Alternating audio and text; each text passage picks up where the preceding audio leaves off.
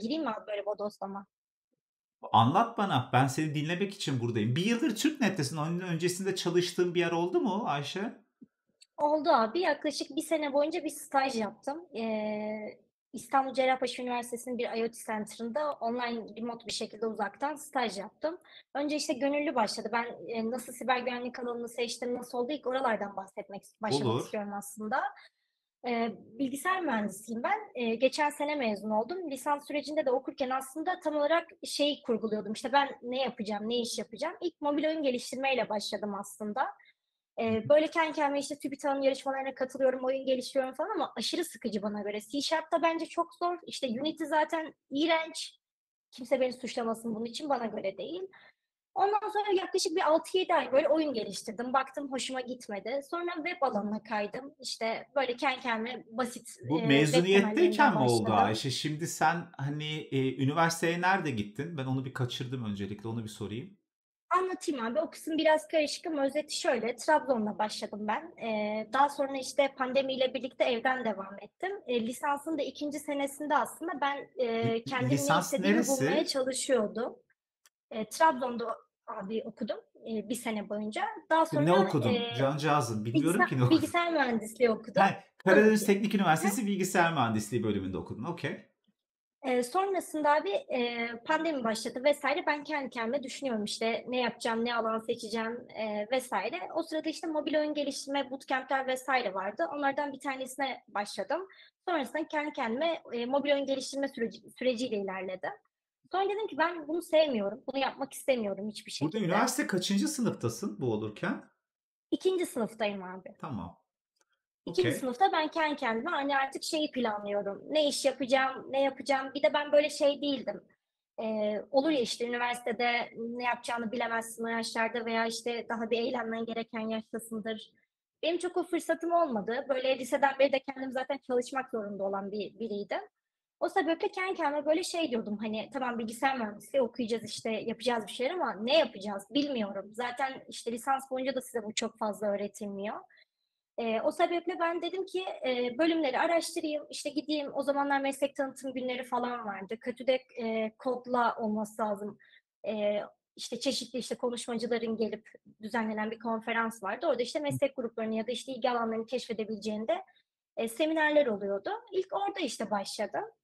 Ee, orada hatta Neslihan Şirin Saygın'ın bir konuşması vardı. İşte ilk onunla merak saldım. Yazılım kısmına bakayım vesaire dedim onun bir konuşmasından. Tolga Mırmırık yine bir konuşma yapmıştı. İşte onların aslında işte test alanına mı kaysam, web mi kodlasam böyle kocaman her şeyin kafasında bir soru balonu vardı o dönem. Ee, dedim ki bir şekilde ben kendi alanımı seçeyim ve çeşitli alanlara yöneldim. İşte bir dönem web kodladım, dönem mobil oyun ama bunlar çok kısa süreler abi. İşte kodladım dediğim şöyle, temellerini öğreniyorum. Diyorum ki küçük de olsa bir proje yapayım, sevip sevmediğimi anlayayım. Ee, böyle ilerlediğim bir, bir yıl kadar bir süreç oldu. Sonra e, üçüncü sınıfa geçtiğimde dedim ki işte siber güvenlik alanıyla da aslında nitekim tanışmıştım. Özellikle senin yayınlarını takip ediyordum. Ee, çeşitli yine kanallar takip ediyordum siber güvenlikle ilgili. Bir araya gireceksin sanki. Yo, yo şey yani zaten hani ben sana merak ettiklerim istediğim gibi hani arada atlar sorarım. Sen de aynı şekilde bunu yaparsın. Çünkü yayın falan deyince böyle timeline'ı da bir yandan alışmaya ve anlamaya çabalıyorum. Çünkü hani e, sen üniversiteye 2019'da mı başlamış oluyorsun? Eğer benim yayınları izleyip Doğru siber güvenlik tanıştığım bir dönem oluyorsa 2019'da Karadeniz Teknik Üniversitesi'ne girip bir süre böyle işte mobil oyun geliştirme vesaire Peki o dönem mesela neden mobil oyun geliştirme? Yani o dönem çevrendeki Abi mesela sıra arkadaşın mı, okulda bir hype bir topik mi? Nereden geliyor mesela onlarca şey varken bu? aslında tamamen para kazanma içgüdüsü. Dedim ki mobil oyun işte görüyorum bir yandan web mi programlasam, oyun mu programlasam falan böyle araştırıyorum ve hiç böyle mantıklı, akılcı bir şey arama kesinlikle abi. Tamamen şey, burada da bir şey varmış hadi kurcalayayım mantığıyla başladığım bir şeydi. Sonra dedim ki ben kurcaladıkça bunu kesinlikle hiçbir şekilde beğenmedim. Sonra dedim ki işte web öğreneyim. Hani security de hoşuma gidiyorsa öncelikle dedim kodlamasını öğreneyim ki bunu işte zafiyeti vesaire anlayabilmek için bunun bir kodlama kısmını bilmem gerekiyor. Biraz ufak ufak oraya baktım. Hı hı. Ee, sonrasında siber güvenlikle ilgili şöyle e, oldu. İşte ben zaten çeşitli bloglar takip ediyordum ya da işte dediğim gibi senin kanalını takip ediyordum vesaire. Günün sonunda dedim ki bu alana bir bakayım ama nasıl bakacağım? İşte kendi kendime bir e, proje geliştiriyorum ama yetmiyor bir noktada. Ben dedim bir staj yeri bulayım. O staj yerinde dedim mutlaka bana bir şey öğretirler veya dedim ben yakalarına yapışırım dedim ki bana bu işi öğretin. E, o şekilde e, aslında bir online yaz staj programı vardı İstanbul Cerrahpaşa Üniversitesi'nin. E, orada işte 5 kişilik gruplar oluşturuyorlardı. Üniversite staj mı açar? Bu nasıl oluyor bu iş? IoT Center'ı var. Üniversitenin He. değil aslında. IoT Center'ı var oranın. Or- orada işte e, mülakatla zaten ona göre seçim hı. yapıyorlar. Mülakatın sonucunda işte bizi 5 Ne ayırdılar. mülakatta? Mesela nasıl Ay, oldu? Sen internetten başvurdun. Oh ayağım. Pardon. İnternetten başvurdun. Bir şekilde mülakat süreci başladı, etti. Peki mesela ne sordular? Çok merak ediyorum yani. Staja mülakatla almayı da birazcık sorgulamak lazım belki. Ee, hiç unutmuyorum onu. Çok da düzgün yaklaşılmıştı çünkü. Bana şey dediler, İstanbul Cerrahpaşa Üniversitesi'ne geldin dediler. Burada bu soruyu vermem etik bir şey mi? Sonra beni dava etmesin. Kedimi almayın, başka mal varlığım yok. Tamam sakin. Niye etik olmasın? Yaşamışsın. Ya, Ne bileyim. sözleşmesi imzalamadıysan konuşabilirsin Hiçbir herhalde. şey konu imzalamadım. Ben gülelim diye söyledim bu arada. Kendi kendime he- heyecanımı götürme challenge. Neyse bana dediler ki geldin İstanbul Cerrahpaşa Üniversitesi'ne geldin diyelim dediler. Aha. Kapıda güvenlik var. Senin dediler öğrenci kartının hiçbir şeyin yok. Nasıl geçeceksin? İçeri nasıl gireceksin? Aslında işte bunu şey yapmamı istiyor. Hani bir siber güvenlik olaya dönüştürüp, e, kurgulayıp kafamda ona göre çözüm yöntemleri üretip nasıl çözüme gideceğime bakmaya çalışıyor. İşte ona göre şu şu saldırıları Bu online mıydı mülakat? online'dı. Yani karşımdaki kişi de Yusuf Hoca yani muazzam birisi. O kadar berbat cevaplar verdim ki abi. Yani hala düşünce cevabını zorla bulduğum bir şey yani. O o korku çünkü o stres anı. Ben böyle berbat şeyler söyledim. İşte şöyle yaparım, böyle yaparım. Hatırlamıyorum da tam. Sonra dedi ki hani isteğini anlıyorum. Heveslisin biliyorum. Ama hani gel dedi ben sana cevabı doğru bir şekilde vereyim, açıklayayım falan. Açıkladı güzeldi. Sonra heyecanım geçince farklı sorular sordu. İşte basic, e, protokol soru- soruları işte OSI katmanları vesaire ya da işte daha böyle soft skill'leri ölçmeye yönelik işte ekip çalışmasının uygunluğunu ölçmeye yönelik sorular soruldu. Baktılar ki teknik hiçbir şey bilmiyor ama istekli beni öyle aldılar. Öyle söyleyeyim. Ee, sonra biz beş kişilik bir grup olduk ve orada işte Tamam. aslında güzel de bir proje geliştirdik. Ee, iki tane open source işte open source aslında bir web sitesi üzerine zafiyetli bir web sitesi üzerine iki tane WAF kurduk. Daha sonra da bunları test edip işte bunun raporunu yazdık vesaire. İşte orada aslında birçok kavramı öğrendim ben. Hani basit bir proje ama günün sonunda işte e, web programlama biliyorum. Onu işte bir projede kullanabiliyorum. E, onun yanında işte WAF nedir, ne işe yarar, nasıl çalışır, mantığı ne, e, işte bir takımda raporlama kısmı vesaire derken aslında böyle mini bir projede olsa orada bir siber güvenliğe adım atmış oldum. İkinci sınıfın yazında oldu anladığım kadarıyla değil Yok. mi? Yoksa Evet üç mü? doğru. Evet evet. Üçüncü Hı hı. sınıfa geçerken ikinci sınıfın yazında İkinci oluyor. sınıfın yazında oldu ve tamamıyla remote stajdı anladığım kadarıyla. Evet abi. Remote bir Güzel. stajda. İsteyen gidebiliyordu. Orada e, App Center'da çalışıyorlardı diğer arkadaşlar. Ben gitmemeyi tercih ettim. Ankara'da yaşıyorum zaten. Yaz sıcağı falan. Kendi kendime bir şeyler araştırıyorum. Öyle başladık.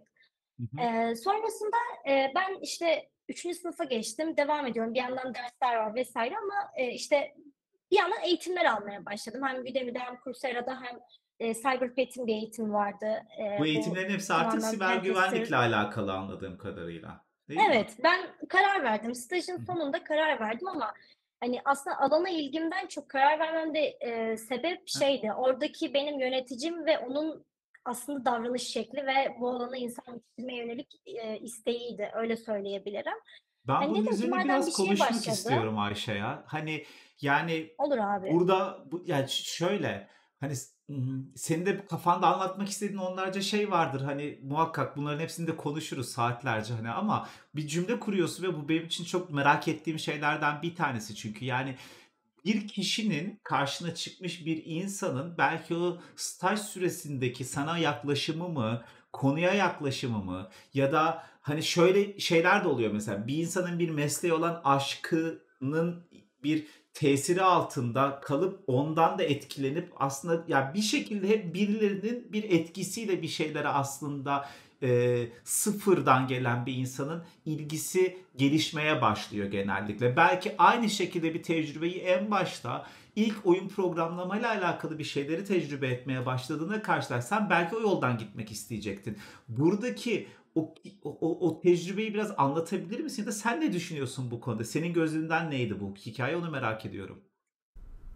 Ve açıklayayım bence de çok kıymetli bir konu. Çünkü dediğin gibi aslında hani diğer alanı da belki seçebilirdim veya zorlardım en azından ama e, orada üslup bence yaklaşım şekli çok önemli. Yani ben buna işte şu an bile mentörlük alıyorum, devam ediyorum ve orada da aynı şeyi gözlemliyorum.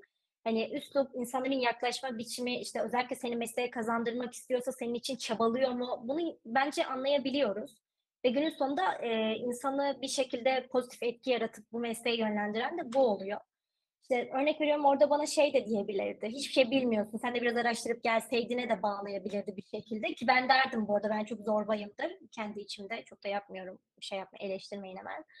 Demedi mesela. Çok hoşuma gitti benim. Dedim okey yani burada ilerlerim. Sonra staj boyunca da aynı şekilde oldu. Mesela yapamadığımız şeyler oldu bizim. Hani beş kişiydik halbuki çok da büyük bir proje değil ama yapamadığımız da oldu. Bir şeyle takıldığımız da oldu. İşte soru sorduğumuzda hızlı bir şekilde yanıt alabiliyor olmak veya işte bize hızlıca bir toplantıda buluşturup e, o çözümü e, aktarması, anlatması ya da kimin ne kadar bildiğini çok iyi bir şekilde hocanın ölçüp ona göre yaklaşması. Bunlar bence çok kıymetli şeyler. E, bir de şey de çok e, iyi hissettirmişti beni. E, bireysel feedback veriyordu mesela işte Yusuf Hoca bize orada. Hani sen burada eksiksin hı. sanıyorum ki hani bu konuda şu eğitimi alabilirsin gibi. Mesela hani şey demiyordu kendini geliştir. Hani böyle de söyleyebilir. Bu ne kadar E, sürdü ki staj? Abi çok kısa bir süre ya. Hiç hatırlamıyorum ama birkaç aylık bir staj. Öyle uzun değil. Ben sonra devam ettim ama. Hani o zaman öyle girmiştim. Sonra gönüllü bir şekilde devam edip sonra da zorunlu stajımı da orada tamamladım. Hı hı. Ee, bu süreçte de dediğim gibi yani hep böyle yapıcı bir tutum vardı bana karşı. Bir de işte ben ekstra mentorluk da isteyip sürekli böyle sorularımı soruyordum. Abi nasıl ilerlerim, nasıl yapacağım, nasıl olacak, ben farklı hangi projeyi geliştirebilirim vesaire gibi e, yönlendiriyordu açıkçası hocam da. Peki yani şimdi siber güvenlik alanı çok büyük bir alan ya. Stajyer olarak da Evet. girmişsin sen bu işin içerisine. Hani burada staj yaptığın yerde sana dedike bir proje verilmesi ve skopun, kapsamın çok küçük bir noktaya indirgenmesi. Belki de HTTP protokolleri, OWASP'ın en çok bilinen zafiyetleri. Bunun için işte WAF ne yapmışsınızdır? At- tamamıyla sallıyorum işte. Hani Mod, e, Mod Security kurup ya da XYZ bir şey. Hani çok belki de siber güvenlik dünyasının içerisindeki yüzde binde ikilik bir alana odaklamış olmak daha odağını artıran bir şey mi oldu? Öğrenmeyi kolaylaştıran ya da hani atıyorum çünkü daha sonrasında şu anda bile geriye dönüp baktığında siber güvenlik derya deniz bir alan. Hani orada hı. boğulmaktan insanı kurtarır mı? Burada önerin nasıl olur? Bir insan nasıl başlamalı? Hep bir yerde bir stajyer staj bulacağız diye bir şey yok yani. Abi benim orada şansım şu olmuştu işte bizde yaklaşık o dönem 50 kişiyi aldılar. Beşer kişilik ekiplere böldüler ve her 50 kişinin işte her grup e, aynı konuyu çalışmadı. Bizde işte siber istihbaratta vardı, farklı konuları işleyen arkadaşlar da vardı. Aslında stajı atıyorum siber güvenliğin alanlarına böldüler. Bize işte başvuruda seçme şansı verdiler. Ben web güvenliği kısmını Hmm. seçmiştim. İşte ilk oradan başlayayım, biraz kod biliyorum mantığıyla. Ee, öyle başlamıştım ama mesela şöyle bir şey, Discord'dan biz ekipler haberleşiyordu ve işte aslında orada diğer ekiplerin girip toplantılarını dinleyebiliyordun. Hangi projeyi yapıyorlar, onlar nasıl geliştiriyor, hani çok bölmeden böyle dahil olabiliyordun. Ee, ve şöyle de bir şans vardı işte günün sonunda o bütün e, proje geliştirebilen başarılı adaylar da günün sonunda projesini sunuyorlar ve yine sen onlarla iletişim halinde kalabiliyorsun. Aslında küçük de olsa orada kendi network'ünü oluşturuyorsun. Kaç kişi Yani var net ki tüm o grupta Abi 50 toplamda? vardı diye hatırlıyorum. İşte beşerli gruplar, 10 grup falan vardı. Öyle hatırlıyorum işte. Farklı Peki farklı kendi bir grubun vardır orada 4-5 kişilik bir grup. Okey. Ama bir yandan da sen tabii hani az çok anlayabildiğim kadarıyla diğer gruplara da dahil olup Evet. takip edip izliyorsundur ne yapmışlar, ne etmişler diye. Şimdi orada bazı insanlar olur ki baktığında ya bu adam, bu insan hani ya da işte kadın whatsoever çok ileride ya bu çok iyi iş bu çok şey biliyor abi hani ben daha Evet. hani yani ben daha Unity'de çarpı butonunu sevmeyip ondan vazgeçip buraya yeni geldim. WAF nedir? WAF WUF anlamaya çalışıyorum. Hani ee, bu çok başka bir yerde bu adam. Şimdi nasıl olacak bu hikaye? Bu duyguları yaşadın mı ya da bu duyguları nasıl yönettin hayatında? Ama bence orası birazcık hani karaktere göre yönetme değişecek bir şey ama ben hani kendi açımdan şöyle bir insanım. Atıyorum biri benden daha çok bildiğinde ben ondan korkmuyorum. Aksine şey diye düşünüyorum. İyi bundan da bir sürü şey sorar ondan da onu öğrenirim kafasında bir insanım. Ama bu O demotive yüzden etmiyor mu abi? Hani kendi ya yaşıtın belki bir senden küçük. ama çok kendim yaşıtım veya benden e, küçük olup da çok bilen ne denk gelmedim onu söyleyeyim başta açıkçası. Kendim çok biliyorum diye demedim asla. Beni o gülüşü çok iyi biliyorum. Beni linç ettireceksin. o değil. Oradaki o case'de, oradaki işte o stajda denk gelmedim. Başka yerlerde elbette geldim. Ee, Abi bu soruyu bana değil ama diğer 49 kişiye sorarsan cevabı alabilirsin dediğim bir andayız. Ben şu anda Evet. anlıyorum. ve li- linç partisi. Yazıklar olsun Mehmet İnce Es- es- yakışmadı. Böyle Estağfurullah. dememiş. Yok ya şu- aslında yani şey kısmını birazcık anlamaya çabalıyorum. Hani e, işin şeyindeyim abi. Biz ben bu sektörde 15 küsür yıldır varım. Tamam mı? Twitter'a dönüp baktığında da hep adı bilinen 3-5 tane bizim gibi karaktersiz adamı görüyorsun tamam mı etrafta hani. Ve hep bunlar konuşuyoruz ya. Hep ben konuşuyorum. İşte yıllardır anlatıyorum bir yerlerde. Siber güvenliğe şöyle başlanır böyle başlanır falan hani ama ya belli bir polinomun tepe noktasını geçtikten sonra yokuş aşağı rahat da gidilen bir alan. Yani belli bir birikime eriştikten sonra yani hani anlatabildim mi? Belki o ilk atom çekirdeğini parçalayacak fotonu yollayıp bu reaksiyonu başlatmak çok enerji sarf ettiriyor olabilir ama sonrasında peş peşe kendisinden gelen bir reaksiyon oluyor. O yüzden istedim ki senin tecrübelerini biraz dinleyeyim. Yani işin esprisindeyiz tabii ki bir yandan arkadaşlar da hani eee bu duygularda herkesten de duyduğum bir şey. Yani başkasına bakıyorsun sağına soluna vesaire ne hep birileri bir şeyler biliyor abi. Hani e, öğrenecek de milyonlarca şey var. O süreçte acaba belli bir projeye odaklanmış olmak spesifik olarak acaba orada boğulma hissiyatını alıyor mu insanın elinden acaba diye merak ettim açıkçası. Belki de abi dediğin gibidir. Hani bir de dediğim gibi e, orada öyle bir case'e denk geldim ama başka işte katıldığım diğer eğitimlerde, stajlarda veya şu anki işimde en az bilenim yani. Hı hı. Yani birçok zaman da öyle olacak. Zaten iki senedir sektördeyim. İşte az önce dedin ya e, 10 binde belki 3'üdür falan. Şu anda belki maksimum 10 binde 5'i 100'ü falan biliyorumdur ve öğrenecek çok şeyim var. Hani bakış açısı olarak demek istediğim ben hiç öyle bakmıyorum. Yani evet insan bir noktada şey oluyor, üzülüyor, demoralize oluyor. Ama günün sonunda bence hani araştırmacı o karakter olarak o varsa sende ve kolay iletişim kurabilip insanlara sorabiliyorsan bence öğreneceğin çok şey var diye düşünüyorum. Ben birazcık böyle işte sen de az önce değindiğin şey dedin işte ben e, 15 senedir sektördeyim. Junior olarak biri nasıl girer mesela? İstersen bunun üzerinden Olur. ilerleyebiliriz. Okey. E, ben stajdan sonra mesela tam zamanlı e, işimi bulurken işte o staj aradığım, e, iş aradığım dönemde e, şu adımlarla ilerledim açıkçası. İşte tamam staj yaptım. Kendimce stajda gönüllü devam ediyorum ve işte proje verilmesini istiyorum veya araştırmaya devam ediyorum.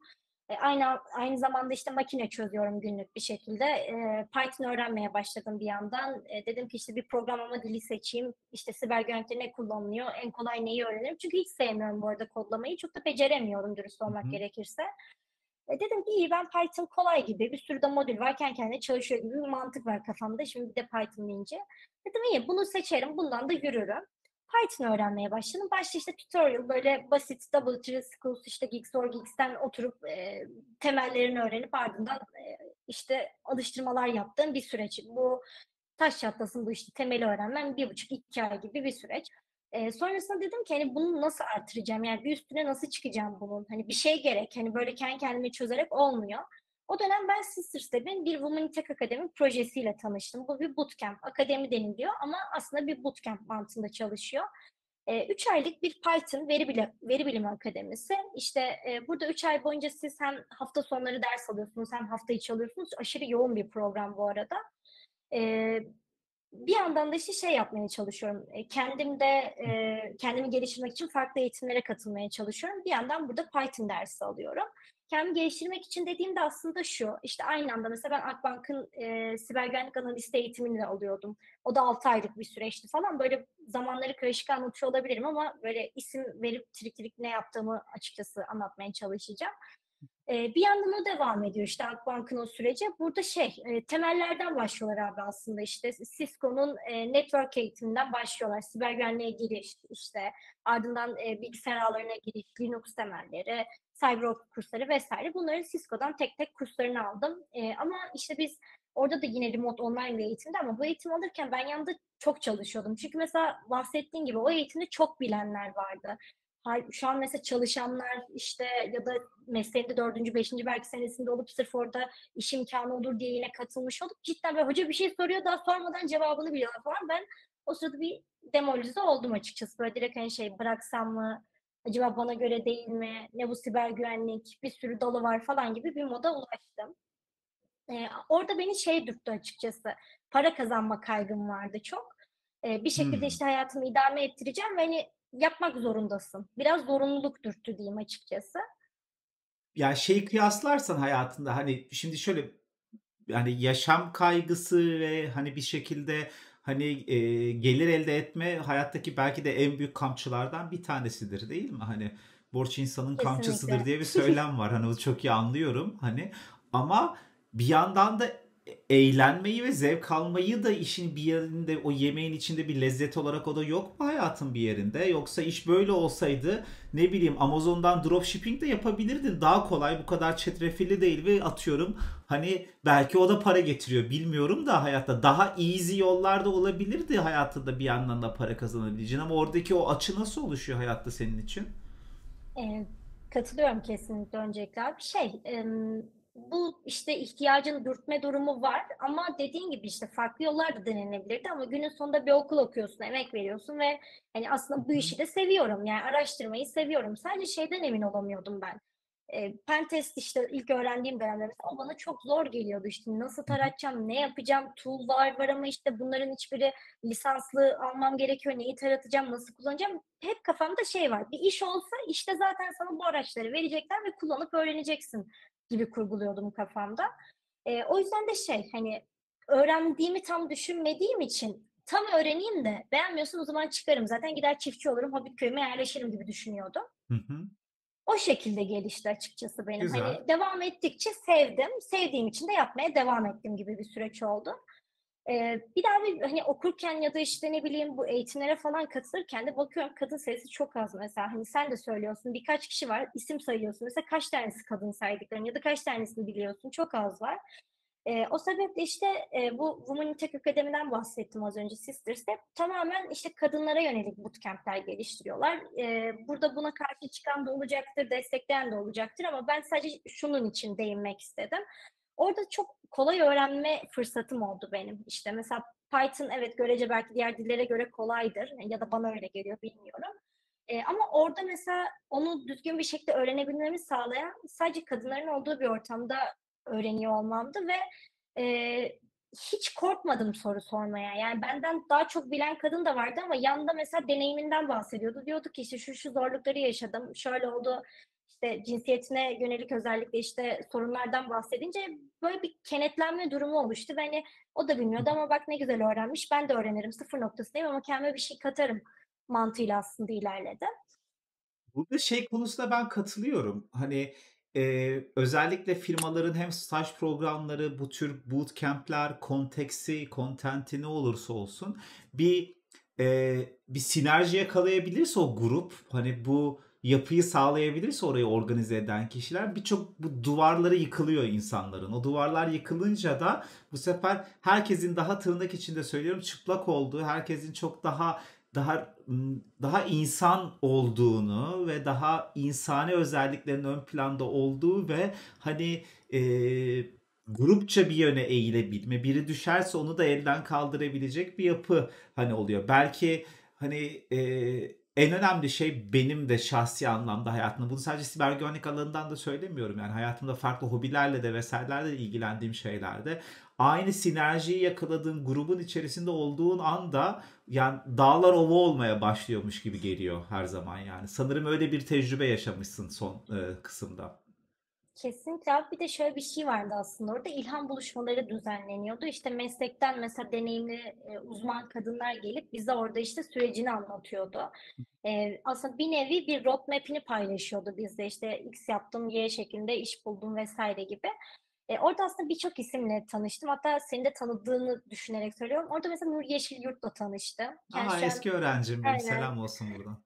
Benden de çok selam olsun. Harika birisi bence. O böyle anlattı sürecini işte yaşadığı şeyleri aslında işte mülakat süreçlerinde sadece cinsiyetine yönelik işte yaşadığı zorlukları vesaire ama işte Hı-hı. bir şekilde o benim için çok büyük bir rol model yani hı. Başarılı bir kadın. İşte şu an yurt dışında çok iyi bir yerde çalışıyor. İşte e, görece zor bir yolu olmuş ama günün sonunda başarmış. Aslında bu his beni yapabilirim e, hissini destekledi diyebilirim.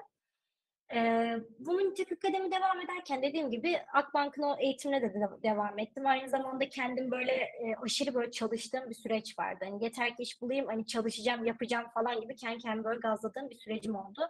O dönem e, kendim eğitim almaya devam ettim Udemy'den. İşte Mehmet İnce'nin yayın, yayınlarını, eski yayınlarını izliyorum. GitHub reposuna bakıyorum. Oradan not alıp hiçbir şey anlamıyorum bu arada yayınlarından ilk 30 dakikayı falan goy goy diye atlıyorum diyorum dur not alacaksın 5 saat sürecek falan böyle bir çalışma sürecim oldu. Hala böyle dönüp yayınlarını tekrar izlesem abi ve bir defterim var şey Pandora'nın kutusu gibi Mehmet İnce'nin notebook yani anlamadığım şeyler. Bir paylaşsam benimle bir alay ederler sorma yani. O kadar basic şeyleri bilmiyordum ve yayından sonra böyle araştırıyordum ki. Aslında o şekilde birazcık gelişebildim diyebilirim.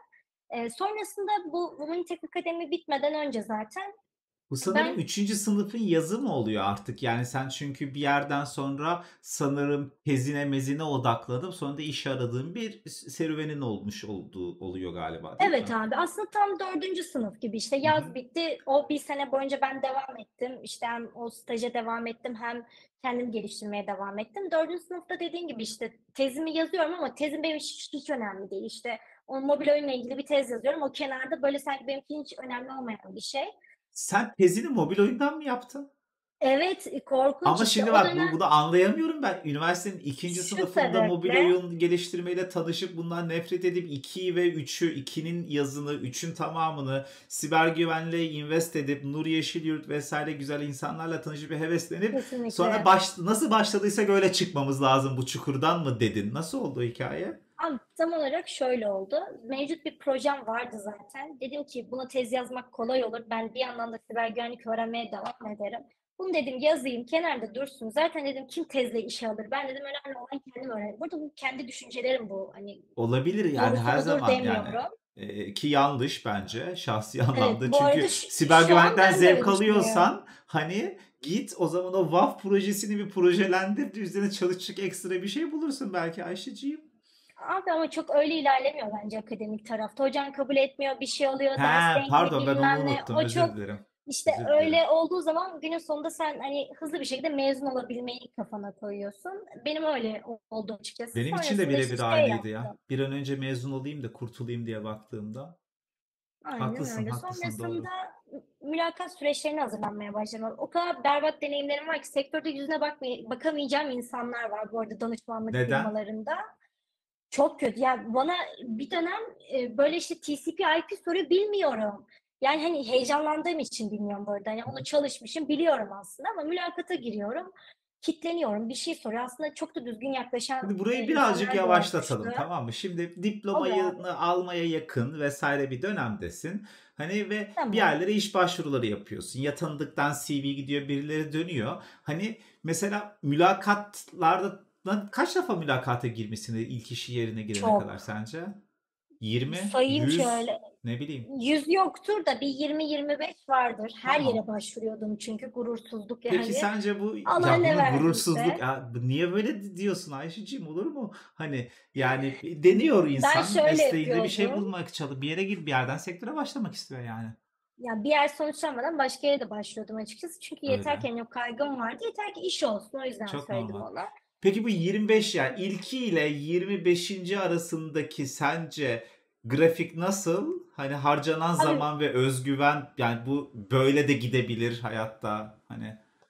Müthiş bir fark var bir kere. Hani ben işte şu anki işim de dahil işte son mesela 5 başvurduğum her yerden ben kabul aldım mesela. En son kendim tercih ettim.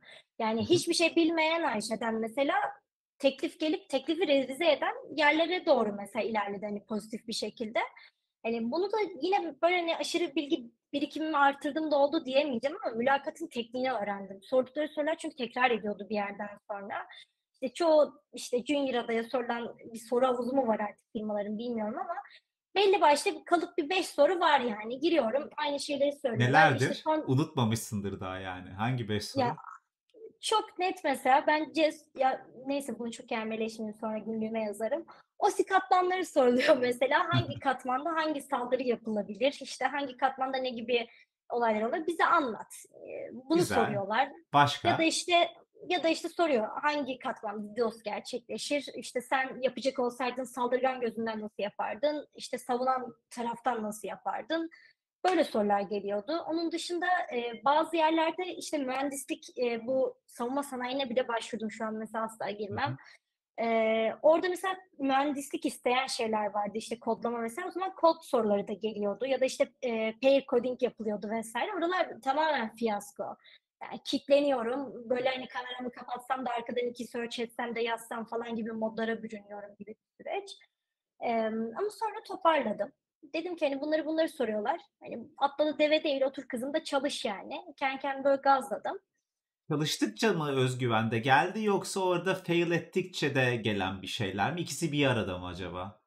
İkisi bence bir arada gitti. Özellikle böyle sektörde bilinen bir danışmanlık firmasıyla mesela bir mülakata girdim. Bana açık açık burada çok da düzgün bir beyefendinin o- inan- olduğuna inandığım birisi. Bana dedi ki CV'ne göre dedi gerçekten hiçbir şey bilmiyormuş gibi davranıyorsun dedi ama bildiğini biliyorum dedi. Yani şu heyecanını bırak. Bayağı benimle uğraştı yani. Böyle saatlerce bana bak hani bu budur anlatıyor falan böyle hani çok üzüldü belli ki halime yani utanacak şeyler söyledim herhalde.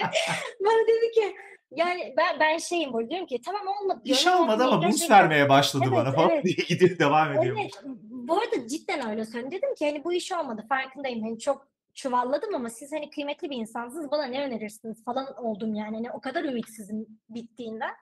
Çok da böyle o şekilde güzel feedbackler aldım ben. Mülakatlarımdan öğrendiğim çok fazla şey oldu. İşte bana kurs öneren falan oldu ya mülakatımda. Hani tamam bilmiyorsun ama bak hani şu kursa bakabilirsin, şu O da konuya iyi bir şey aslında ya değil mi? Kesinlikle bence çok kıymetli bir şey. Ee, o feedbacklerden yola çıkarak ben kurslarda aldım. Dönüp işte o başlığı mesela araştırıp böyle bir rapor falan yazıp bana ulaşabilirsin diyenleri LinkedIn'den yazıp bakın bunu öğrendim ama doğru mu öğreniyorum şeklinde döndüğüm de oldu. Aslında böyle hani daha işe başlamadan bir sürü şey öğrenmeye çalıştığım ve hani kovaladığım bir süreç oldu. Ee, sonra aslında bir şey de var. Benim ilk mülakatımda ben bir işe de girdim. Yani işe alındım da başlamadım öyle söyleyeyim. Yine bir danışmanlık firmasıydı ve bana şey demişlerdi işte mezun olmama bir sene vardı. Dediler ki parasız çalış, deneyim elde edersin ama bir yandan da beni aşırı met ediyorlar. Çok isteklisin, heveslisin, harika bilmem ne falan. Sonra dedim ki hani daha işe almadan bunu söyleyen bir yer, hani para vermek istemeyen bir yer, işe alınca da vermeyecek. Başlamadım mesela. Farklı firmalara tekrar tekrar denediğimde bir sürecim oldu. Şimdi dönüp baktığında o firmayı sektörde de biraz zaman geçirdiğin için bilirsin. Doğru bir karar aldığını düşünüyor musun? Çok doğru. İyi ki seçmemişim. İyi ki. Yani şükürler ediyorum. Hatta bazı böyle pozitif düşündüğüm yerleri de sonradan reddettiğim oldu. Birazdan böyle anlatacağım isim vermeden. Sonrasında ben aslında ilk işim e, Londra menşeli bir firmada ben siber güvenlik uzmanı olarak neyimeyse başladım öyle. O mülakatım da şey işte İngilizce bir mülakatta oldu, teknik bir mülakatta oldu. Böyle üç aşamalı gayet zorlayıcı bir mülakattı. Ee, ama beni aldılar. Bir startup'tı. Ee, başladım. Birkaç ay çalıştım. Birkaç ay boyunca benden bir siber güvenlik ürünü üretmem istendi. Ama ben yazılım kısmında olmak istemiyordum. Ve hani baştan böyle konuşmamıştık. Hani ben bir heves yurt dışı firması ve işte bana çok şey katar. Belki de yurt dışına da relocate olur giderim falan mantığıyla aslında heveslenmiştim. Ve aslında orada öğrenirim ve siber güvenlik için profesyonel bir deneyimim olur mantığıyla aslında tercih etmiştim.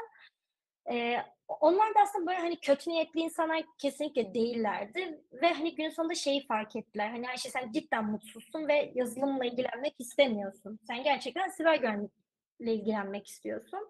Nasıl yapalım? Hani bizim şu an öyle bir projemiz yok. Bir, e, birkaç ay daha yazılım projesine devam etmek ister misin Biraz dediler. garip olmuş yani. Hani almasaydınız Evet, o zaman Evet evet ya. kovacak mısınız falan oldum ve şey böyle geriliyorum bir yandan da. Ee, o şekilde ilerledi. Ben dedim ki hani ben bunu istemiyorum. Ben iş bakınıyım dedim. Çıkayım hani ona göre. Birkaç ay idare edebilirsiniz dedim. Hani maaş en azından dengeleyebilmesi açısından dedim. Ben iş bakayım. Ee, o sırada işte farklı farklı e, özellikle okurken çok istediğim bir banka vardı. Abi o zaman zannediyordum ki bankada çalışan bir tanıdığım vardı. Çok da iyi bir para kazanıyordu. Sandım ki banka çok doğru yer yani. Yani bankada çalışayım. O mantık bir heves. İşte o dönem bir bankayla böyle 4 aylık bir sürecim oldu benim. 4 ay mülakat alıyoruz ne hikmetse. Kabul aldım bu arada. Çok 4 ay istiyordum. normal bir süre bu arada yani çok uzun bir süre olduğunu Öyleymiş de düşünmüyorum.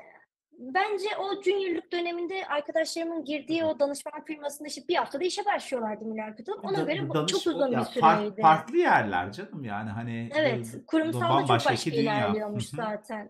Evet. Ee, o bankadaki aslında pozisyon SOC'ydi. Ben de hiç SOC istemiyordum. İşte bana Hmm. göre monitoring sıkıcı bir işti. İşte gün boyu onu yapacağım falan. Diyeceksin ki niye başvurdun? Çaresizlikten. Ona da başvurdum, ona da başvurdum. Ben Red Team'e başvurdum aslında. Ama Red Team için uygun görülmeyince SOC'yi alalım orada ilerler oradan Red Team'e geçer dediler. Dedim ki ben öyle uğraşamam oradan oraya. Zaten dedim çorba olmuş her şeyi öğrenmişim. Kendimce bir şeylere bulaşmışım. Orayı reddettim. Ee, SIS sistemin projesinde işte başarılı olan adayları iş ortaklarıyla mülakata sokuyorlardı. Seni beğeniyorlarsa alıyorlar. Bir tanesi sanırım TürkNet.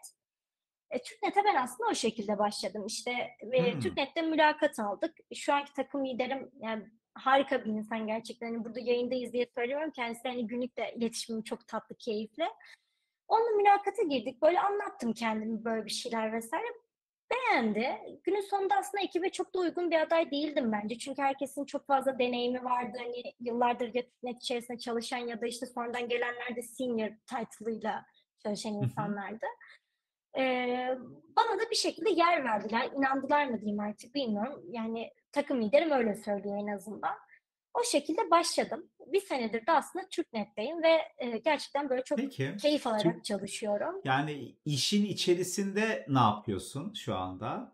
Tabii anlatayım abi. Ee, TürkNet'te dediğim gibi aslında bana uygun bir pozisyon yoktu. O yüzden ben operasyona girdim ilk önce. Hı. İşte bana şöyle söylendi mülakatta. Dedim ki ben abi ben kesin ki işte red team, pen tester olacağım. Burada dedim ilerleyeceğim vesaire. Bana dedi ki direkt Gökhan abi ismini de vereyim.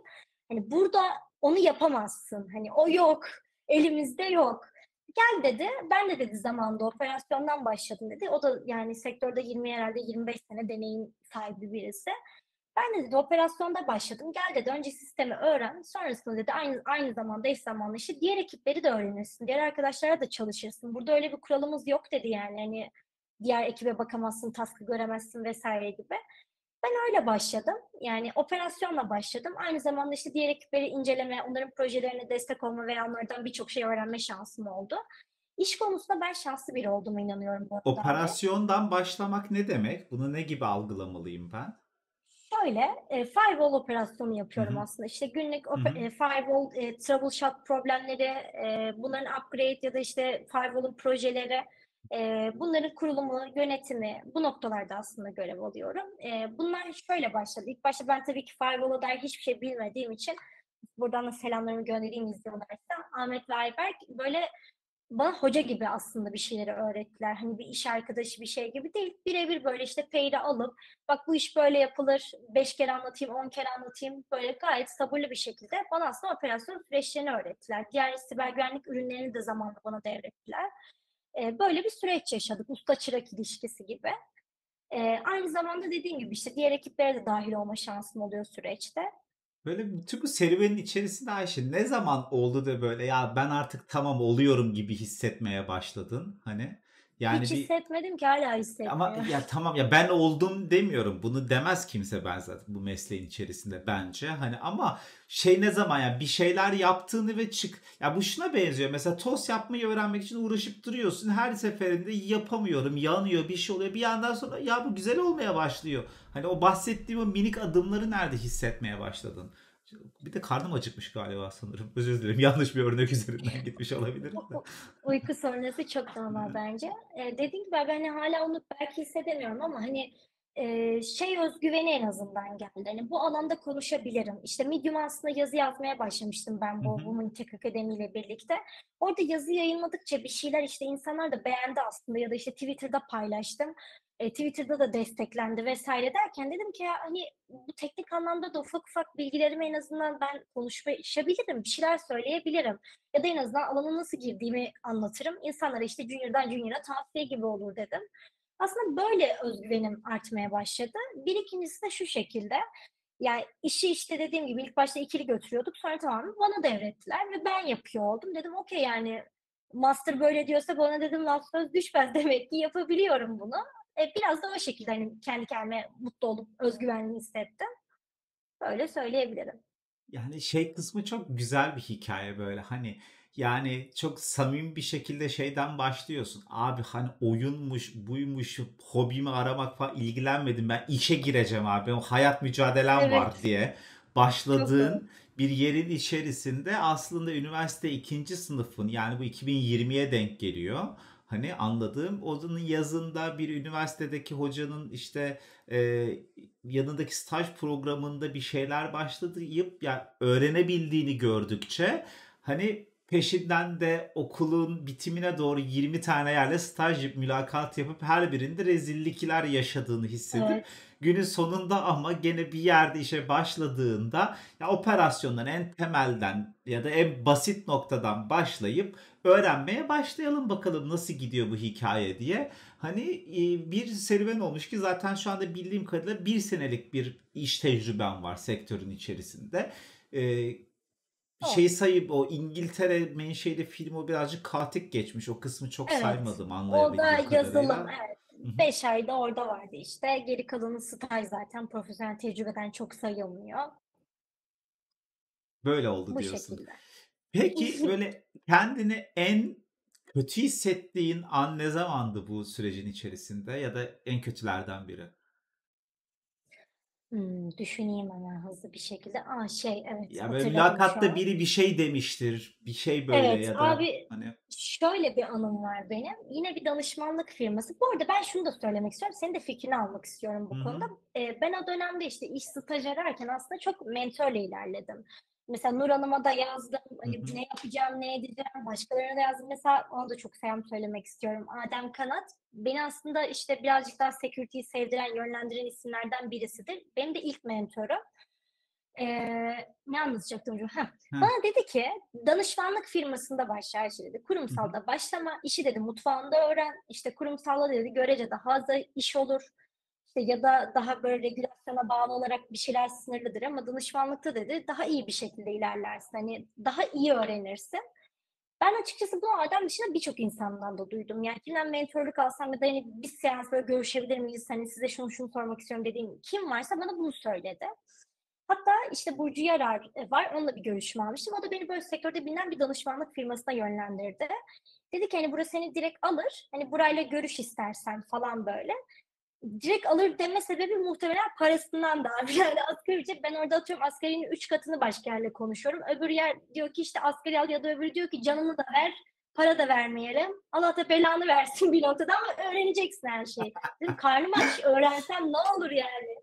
O mantıkla birazcık ilerledi. hı. Benim de böyle en hani çok Benim, affedersiniz benim sıçtım fikrimi almak dediğim istediğim bir kısım da vardı da o soruyu sormadım evet bana hatırlatayım o, istedim. orası orası şey. Sence sektöre yeni başlayacak bir insan hı kurumsalda hı. mı başlamalı yoksa danışmanlık bunun doğru yeri midir? Tamam. Şimdi şöyle bir fork edelim. O en kendini böyle sıçmış ya da en dipte, en kötü belki gözünden bir bukle yaşın dökülmesine yakın olduğu hissettiğin anı beni dinlerken bir yandan da düşün. Çünkü o sorunun cevabını çok merak ediyorum senin özelinde. Benim bu soruya kurumsal mı danışmanlık mı? Şimdi neden insanlar genellikle danışmanlığa yönlendiriyor? Onun cevabını vereyim. Aslında senin hikayenden devam edersek sen zaten tırnak içerisinde söylüyorum abıldıyorsun ortalarda sağına soluna bakıyorsun yani WAF neymiş TCP IP bile bilmiyorum diyorsun. İki özgüven anlamında zaten kendin anlattığın hikayelerden ki senin hikayeni dinlemekteki temel arzum zaten hani bu tür sorulara da cevabı gerçek örnekler üzerinden anlatabilmek. Çünkü benim örneğim 15 sene önceydi yani hani belki artık anlamı bile olmayan bir tecrübe hayatta ama seninki daha gerçek hikaye. O yüzden hani kendin diyorsun zaten yani hani hiçbir şeye cevap veremiyordum. Daha iyi insanları gördükçe moralim bozuluyordu ama hani işte Woman Tech ya da hani e, kadın e, organizasyonu içerisinde Nur'la tanışıp oradaki o grupça bir enerjiyi yakaladığımda da daha iyi perform edebiliyordum. Çünkü o duvarlar yıkılıyordu. Şimdi bunu kurumsalda çok bulamazsın işin içerisinde. Çünkü daha ilk iş tecrübe genelleme yapıyorum. Bunu her zaman altına çizmek lazım. Çünkü daha ilk iş tecrübesi olduğu için bir anda havuzun içerisinde buluyorsun. Hatta birçok kurumsal firma bunu yıkmaya çalışıyor. Hani onu da ayrıca birazdan bahsederim. Benim de doğrudan işe yeni başlayanlara 2 saat siber güvenlik farkındalığı semineri verdiğim kurumsal firmalar var.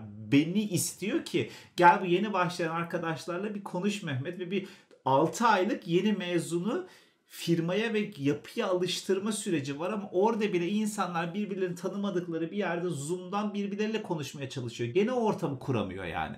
Ama danışmanlık firması birazcık daha işte abla kardeş, abi kardeş omuz omuza bir ortam oluşur. Orası bir takımdır. Hani bir de orada şöyle bir kardeşlik yapısı oluşur tırnak içerisinde söylüyorum. Hani müşteriye karşı omuz omuzayız kol kırılır yen içinde kalır hiçbir şey göstermeyiz ama ha siktir ya Faruk sıçtı mı abi gel onu toplayalım döner arkada. Şimdi o ortam danışmanlık firmalarında Türkiye'deki danışmanlık firmalarında genellikle o dostluk ortamı olduğu için daha safe hissediyorsun kendini. Yani zebra gibisin. Sürünün içerisinde fark edilmeden yaşamak istiyorsun. O atomun parçalanma sürecindeki baştaki o enerjiyi vermen gereken yerde. O yüzden herkes diyor ki danışmanlık firmalarından başlamakta fayda var. Benim de buna cevabım aslında böyle. Ama firma var, firma var. Çok kötü tecrübelerin olacağı yerler de oluyor hayatta.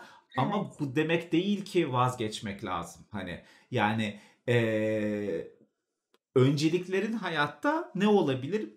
Ona kendin karar veriyorsun. X, Y, Z, para bilmem ne vesaire vesaire. Bunların hepsi hayatın içerisinde var abi.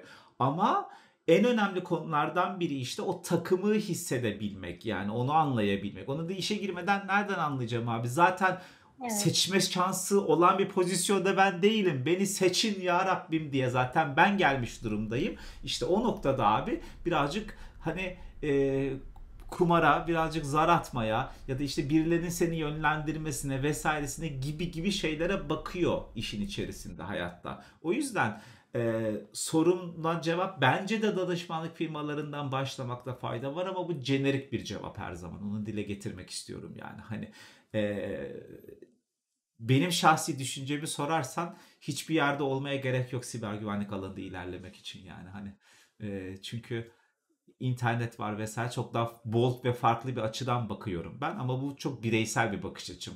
E, farklı alanlarda o grup içerisinde olmanın faydasını hayatta çok gördüm yani hani o yüzden kafa dengi bir arkadaş ortamı kurmak bile çok büyük şey katıyor bence diyeyim. Umarım soruna cevap olabilmiştir merak ettiğin şeye.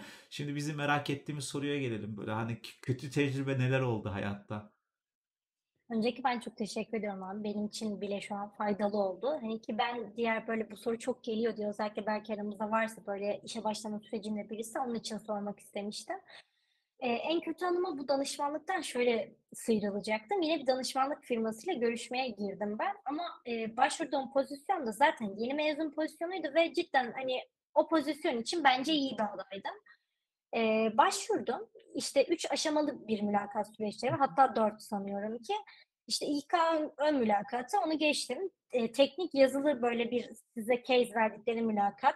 İşte bir CTF çöz raporla. Bunu da hallettim. Ee, üçüncü aşamada teknik yüz yüze bir mülakat ol- olacağı söylendi. Ben de haliyle başvurduğum pozisyonun gereklerini öğrenmeye ve işte ona göre işte hangi ilana başvurduysam ona göre bakıyorum. Ne isterler, gereksinimleri neler vesaire. O kadar biliyorum, bildiğime eminim. Girdim mülakata. Karşımdaki kişi yani aşırı gülüyor. Yani e, böyle bir zorbaladı gibi benim oldu. Hani bir şey söylüyorum, gülüyor. Yani şey diyesim geldi. TCP'yi bilmedim ona bile gülmedi adamlar. Sus bir adam. Ben şimdi neler biliyorum falan diyesim geldi. Diyemiyorsun tabii mülakattasın. Böyle aşırı güldü. Bana mesela bir soru soruyor ama sorduğu benim başvurduğum pozisyon junior pozisyonu gülmeyi bana anlamıyorum ben abi. Hani sorunun verdiğin cevaba mı gülüyor mülakat Evet evet cevaba gülüyor. Böyle hani kendini tutamıyor. Hani cahil falan gibi böyle hani bulsa bana bir şey fırlatacak Allah seni belanı versin der gibi. Sonra e, mülakattan çıktım ama atıyorum 10 soru sordu ya hiçbirini bilemedim. Dedim ki bir sorun var. Hemen Adem'e yazdım mentörüme. Dedim ki bak dedim soruları dedim birebir biliyorum çünkü hep şey yapıyorum. Mülakat sorularını aklımda tutup sonra cevaplarını öğreniyorum mülakat sonrası. Dedim ki bana bunları bunları bunları sordular. Dedi ki bunlar senior sorusu. Nasıl sana bunları sordular?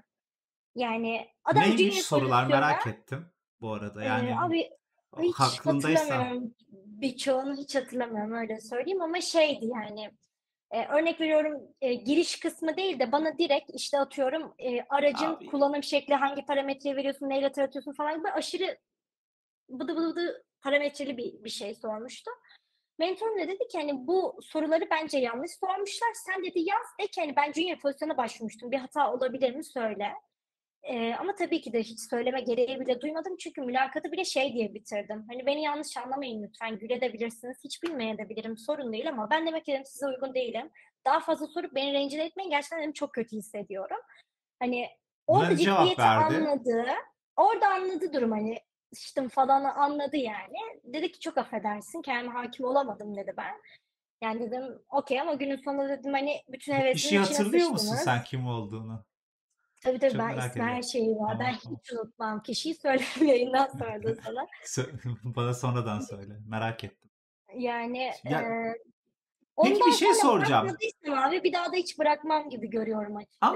bak burada senin şöyle bir şeyin var. Hemen gittim mentörüme yazdım diyorsun. Abi kaç yani bu Ağladım onu da söylemeyi verdim canım. Yok Hemen hayır şunu diyorum. şelale. Hayır şunu diyorum. Kötü yaşamışsın tabii ki de yani hani ama hemen gidip danışıp bir alabileceğin de hayatında bir fırsatın olduğu bir yer mi var? Bu mentörlüğü yaşadığın kısmı ne işin sana? Katkısı ne? Onu da görüyorum. Yoksa ağlar durursun abi. O, Tabii. o kısmı Tabii sorgulamıyorum o yani.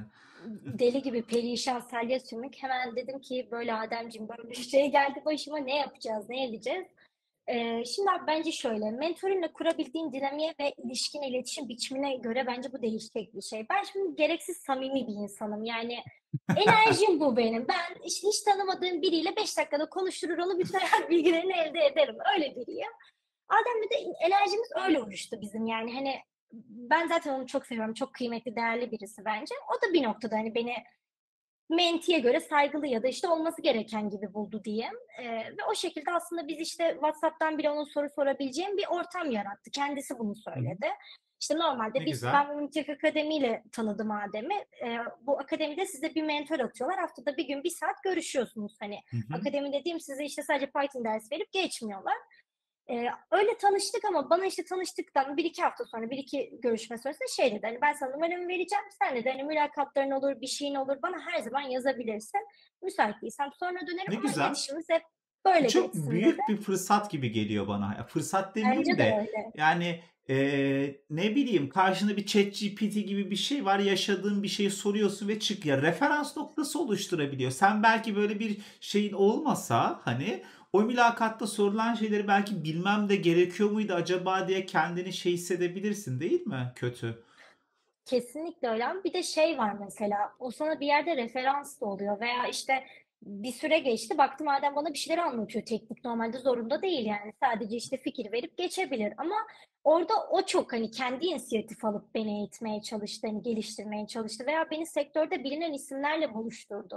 Hani X danışmanlık firmasının şu sahibine yaz ya da işte ben senin için yazacağım. İşte bir görüş, bir mülakat al. Mesela o şekilde ben Kayhan Kayahan'la tanıştım. Muazzam bir insan bence.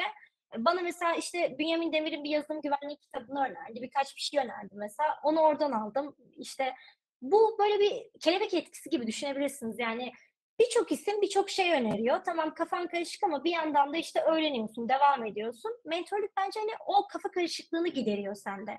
Hani ben Adem'e kadar mesela birçok şeyi öğrenmeye çalışan işte ve çırpınan birisiydim. Hı hı. O daha çok yol gösterdi. Hayır bunun işi bu değil. Bak sektöre girmek istiyorsan hedefin ilk etapta işse para kazanmaksa evet tamam buraya gir, burada başla dedi.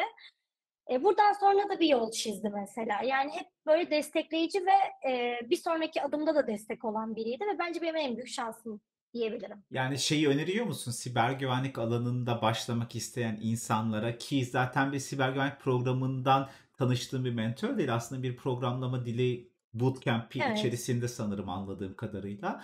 Yani bir doğru. şekilde kendinize mentor bulun demek aslında doğru bir cümle mi senin için?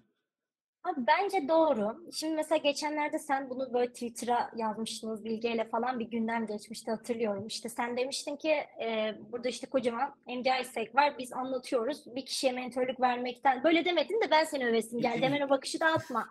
Ondan sonra e, evet burada mesela ben işte Mehmet İnce'nin yayınlarından çok şey öğrendim.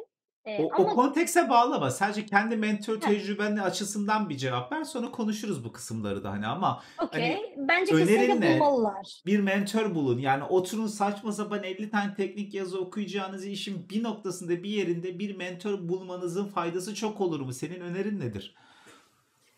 Ee, Ben şöyle düşünüyorum. Kesinlikle mentor ilerlemek çok e, insanı geliştiren bir şey. Bu noktada nasıl mentor bulabiliriz Hı diyebilirler. hı. Eee, çeşitli bunun için bootcamp'ler var aslında, işte, akademiler var. Bunlara katılabilirler veya bir başka yöntem ve ben aslında bu şekilde birçok kişiye ulaştım. Twitter artık bir networking alanı bence. Ben sana bile oradan ulaşabildiğimi Hı düşünüyorum. hı. Twitter'da paylaşabilirler ve birçok insan zaten direkt yazıyor, işte, ben mentörün olurum vs. ama bence mentörlük ne, bunu öncelikle insanların bilmesi lazım. Yani ne bekliyorlar, ne istiyorlar? Bir de herkes, yani, senin kariyer ilerlemek istediğin roadmap'le bence benzer bir süreçten geçmiş birisi sana daha iyi yardımcı olabilir. O sebeple, eee, kesinlikle hedefledikleri kişiye mesela direkt gidip LinkedIn'den, Twitter'dan yazabilirler diye düşünüyorum. Keza ben öyle yapmıştım. Mesela Burcu Yarar'la ben öyle tanıştım. Dedim ki ben sizin çalışmalarınızı ve kariyer sürecinizi çok beğeniyorum. Kendime de benzetiyorum. Günün sonunda ben ilerideki siz olmak istiyorum ya da bir değişik versiyonu. Nasıl yaparım? Nasıl yapacağım? Ya bakın bunları yaptım. CV'mi attım işte. Dedim ki ben bunları bunları yaptım. Şu kadar süredir uğraşıyorum. Neyi Hı yanlış yapıyorum ve ne yapabilirim?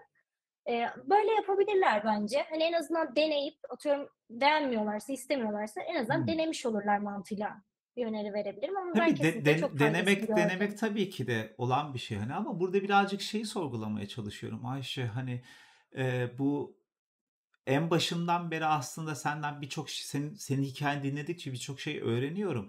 Aslında sanırım şeye benziyor konu artık değil mi? Hani, ya, artık teknik bir şeyler anlatmayın. İhtiyaç bu değil sanırım artık, değil mi? Yani bu şeye benziyor. Tekrardan, hani, eee, çok alakasız bir benzetme yapıyor olacağım belki, hani, ama, işte, eee, şubat ayında 6 Şubat'ta yaşanan depremden sonraki 3 gün tırlarca kıyafet gitti. Hayır abi, bize kıyafet artık değil, hani, o zaman, işte, atıyorum su lazım. Anlatabildim mi? İşte, atıyorum, ne bileyim, işte işte, sabun lazım. Bize bu lazım dedi. Aslında sanırım acaba bunu da sesli düşünüyorum. Acaba teknik bilgi paylaşmaları bunlar aslında as as acaba hayatta yeterli mi acaba? Yani, hani, yeter mi? Bu kadar sürekli teknik bir şey paylaşılıyor zaten. Yani, hani, ben bile 2011'den beri sürekli bir yerlerde hep bir SQL injection konuşmuşumdur. Mesela örnek olarak söylüyorum. Hâlâ konuşuyorum. Hani, yani, acaba böyle mi? Bunu sesli düşünüyorum. Hiçbir fik yani, hiç fikrim yok. Bir yandan da bu bu yani, acaba aslında ihtiyaç artık farklı bir şey mi olmaya başlıyor? Ben şöyle düşünüyorum, bence ikisine de hâlâ ihtiyaç var. Örnek veriyorum, işte, senin o teknik videolarını izlemeseydim belki de hiçbir şey öğrenemeyecektim günün sonunda ya da daha az öğrenecektim. Hani, bu teknik yayınlara kesinlikle ya da, işte, teknik paylaşımlara farklı insanların da gerek olduğunu düşünüyorum ama, hani, Mehmet İnce de ne der mesela, işte, ben şeyi hatırlıyorum ve çok, eee, o zaman benim çok işime yaramıştı. Sen bir mock interview yapmıştın bir Evet. çocukla. Eee, o da mesela çok, yani, teknik bilgiden daha kıymetli gelmişti o İşte dönem bana çünkü ona ihtiyacım vardı ama Şimdi bu burada da bir eğri oturup doğru konuşalım Ayşe. Diyorsun ya, hani, ya onlarca not aldığım defterim var içerisinde senin eğitimlerinden ve yani, hani, hiçbir bir işe yaramamış ki çok. Abi Yani aslında yaradı yani. çok tamam Mülakatların sıfır yüzde demiyorum ellisini Tamam. ama çok da bir işe yaramamış ki. İhtiyacın olan değilmiş ki. İhtiyacın olan çok daha basit anlamda bir şeyleri sorabileceğin belki bir mentörmüş hayatta. Acaba Evet. acaba sektördeki niyeti insanlara yardımcı olmak isteyen kişiler en başta ben çuvaldızda oradan kendime batırıyorum. Zaten başkasıyla çok ilgilenmiyorum da. Acaba bir yerden sonra yanlış mı yapıyoruz yani hani? Çünkü eee, seni dinlediğimde hayatına dokunan insanların hepsinin dokunduğu nokta aslında hiç teknik bilgi içermiyor. Farkında mısın? Hani Evet, bir adam doğru. geldi ya öyle bir anlattı ki siber güvenliğin şu konusunu hiç unutmuyorum. O konuda aşık oldum demiyorsun. Kaç kişi bunu diyor ki Evet. hayatta? Acaba ihtiyaçlar mı değişiyor ki yeni dünya düzeninde? Belki de Bilmiyorum. öyle. Bir de ben şeyi düşünüyorum abi, yani herkesin hayatı çok farklı, biricik ve günün sonunda herkese her tavsiyeyi de veremezsin ya da herkesin ilacı olmayabilir ya. Hani mentörlük belki de o anlamda daha öne çıkıyor olabilir diye düşünüyorum. Örnek veriyorum ben kendi case'imde bana işte o danışmanlık firmasına gir dediklerinde belki şu anki olduğum yerden çok daha fazla öğrenecektim ki bence öyle olacaktı bu arada dürüst olmak gerekirse. Ama para kazanamayacaktım ve o an para kazanmazsam belki onu devam ettiremeyecektim zaten. Hani orada da öğrenemeyecektim Ha, çünkü o an acil oydu. O sebeple mentörlük bir nevi hani sen de onu analiz edebilirsen sana hayattan bir şeyler sunduğu için kıymetli diye düşünüyorum. Yani ben onu paylaşabilmiştim mesela param yok. Hani eğitim alacağım da param yok. Nasıl alacağım? Hani o zaman oradan işte bir iş bulalım o zaman sana. Oradan şunu bulalım vesaire diye açıldı mesela. hı hı. O yüzden bilmiyorum ben açıkçası çok kıymetli buluyorum mentörlük işlerini. Doğrudur. Yani e, böyle orada yaşadığım bir tecrübe yani yaşadığım bir düşünce ben nasıl mesela şu anda sesli düşünürken senin aslında sen de aynı şeyi yaşıyorsun orada anladığım kadarıyla ama ben de bir anda artık hani o zaman mesela ben ne yapmalıyım sence hayatta? Yani e, ben hasbelkader az çok beni de tanıyorsun. Elimden hani e, çok samimi bir yerden geliyorum bu soruyu sorarken şu anda da. Yani hani bildiğim her şeyi anlattığımı düşünüyorum ama her ne zaman yeni bir atıyorum bir şeyler yapmaya çabalasam mesela son zamanlarda belki görmüşsündür hiç bilmediğim CTF'lere canlı yayında girmeye çalışıyorum ki geçtiğim o süreci düşünce seli neyse orada yaşadığım onu izleyici de görsün ve anlasın ki 15 yıllık tecrübesi olan adam da bir bok yapamıyor orada. Hadi sen de yapamıyorsun. Kardeş bak aynıyız aslında. Hani ama bak günün sonunda gene olabiliyor. Farkları görsün bir de bir deneme. Acaba ne yapmak lazım? Daha çok katkısı olan bir şey ne olabilir yani? Hani çünkü mentörlük kısmı da birebir de zor ki ben sana mentörlük yapayım bir insan abi. Hani buna da için bir yerde el vermiyor. Bak o insan menti için çok kıymetli hayatta. Acayip kıymetli. Evet. Hani ama ben orada da bir insana dokunuyorsun. Kıymetini küçük görmüyorum. Mükemmel kıymetli bir şey. Günün sonunda herkes bu işin içerisinde Ayşe duygusal dünyasını doyurmaya bakıyor tamam mı? Hani ben burada bir duygusal Kesinlikle. tatmin yaşıyorum. Herkesin yaşadığı süreç kendisine tabii ki de hani ama e, nasıl bir şey yapmalıyım belki de artık hayatta bilmiyorum yani. Hani var mı bu konuştuklarımdan senin aklında böyle bir şey? Böyle karşıda dışa vurum yapıyorsak bence abi yani Türkiye'de de mesela senin anlattığın konuları mesela bu heyecanla bu şekilde apaçık anlatan çok fazla isim yok. O sebeple ben hani kesinlikle buna devam ederdim. Mehmet İnce olsaydım ne haddi neyse. Ee, sonrasında da belki şeyleri arttırılabilir yani. Mesela o mock interview gibi mesela süreçler veya bu ilham deneyim yayınları artırılması olabilir artık bilemiyorum ama belki bu kısmı biraz daha adapte edebilirsin ama diğerine de devam edebilirsin gibi düşünüyorum. Çünkü bence o kısımdan da çok şey öğrendim ve bir sürü insan ya. öğreniyor. Chat'ten de şeyi gördüm hatta. birisi şey demiş hani çok haklı ama hani herkes de mentöre ihtiyaç duymuyor ki hani demiş. Ya, Mesela ki. kimisi sadece teknik öğrenmek istiyor. Böyle... Ya ben ben ben zaten öyle bir insanım. Benim hayatımda hiçbir mentorum olmadı. Hani olsaydı affedersin nasıl olurdu bilmiyorum ki yani hani ben ben başka bir e, başka derken daha üst bir yere koyarak söylemiyorum. Başka farklı bir petten yaşadığım için hayatı hani e, o farklı bir noktaya gidiyor ama ya ona da devam edersin bunu da yaparsın bilmiyorum bir yandan sonra bazen şeyi düşünüyorum yani Ayşe yani 3 senedir anlatıyorum. 400 saat anlatmışım. Başka bir şey bilmiyorum ki abi ben bu kadar biliyorum. Ne yapayım daha yani hani diye ya ne yapayımdan kastım ben her şeyi yaptım daha ne yapayım noktasında demiyorum. Bilsem anlatırım gene tabii ki de. Ama e, birazcık böyle bu aralar şeyleri sorguladığım bir yerdeyim. Yani o yüzden zaten mentörlük vesaireler, menti bu sorguları kafamda hani yapıyorum. Acaba belki de ben de mi bir menti olmalıyım bir yerde dönüp değil mi? Zaten öğrenmenin yaşı yoksa ve bunu zaten 15 yıldır böyle savunuyorsak o zaman daha mı cesur demeyeyim de hani daha da mı açık düşünmek lazım acaba diye bilmiyorum. Sana mentörlük verebilecek birini bulmak benim kadar kolay olmuyor biraz. Yok be abi hiç öyle değil ya. Hiç yani hani şuradaki paylaşımlarımızdan çok şey öğrendiğim durum var. Buna böyle bakarsan ya da işte hani bugün Twitch'teki yayınların içerisindeki yorumlara yazılan şeylerden birçok şey öğreniyorsun. Hani şey bakmamak lazım direkt. Senin belki mesleki tecrübelerinin olmadığı, meslek hayatının yeni başladığı noktada bir şey sorup cevap alıyorsun direkt değil mi? Hep böyle olmak zorunda değil. Bir yorum kafanda iz olur ve bir hafta onu düşünürsün ve o sende farklı bir yere açabilen bir durum da olabilir. Ben chatte birçok arkadaşın yazdığı şeyleri böyle yaşadığım oluyor hayatta yani. Hani ama e, bir senelik tecrübe böyle hani baya baya bir meşakkatli yollardan geçmiş gelmiş Ayşe. O yüzden hani e, keşke dediğin ne var onu da merak ediyorum yani. Keşke şu hani iyi ki başına gelmiş şeylerden cevabını az çok aldığımızı düşünüyorum. Mentor ismini paylaştığın e, insanlara keşkelerin yani iyi ki olmuş dediğin şeylerden biri hani ama lan keşke şu şöyle olsaydı dediğin bir şey oldu mu hiç? hayatında bunu fark ettiğin? Eee, bu aslında hep konuştuk ya işte şunu yaptım, bunu yaptım gibi. Aslında mentörlüğe gelene kadar ben çok yorulmuştum. Yani birçok şeye katılmış, kendimce işte kendimi geliştirmeye çalışmıştım.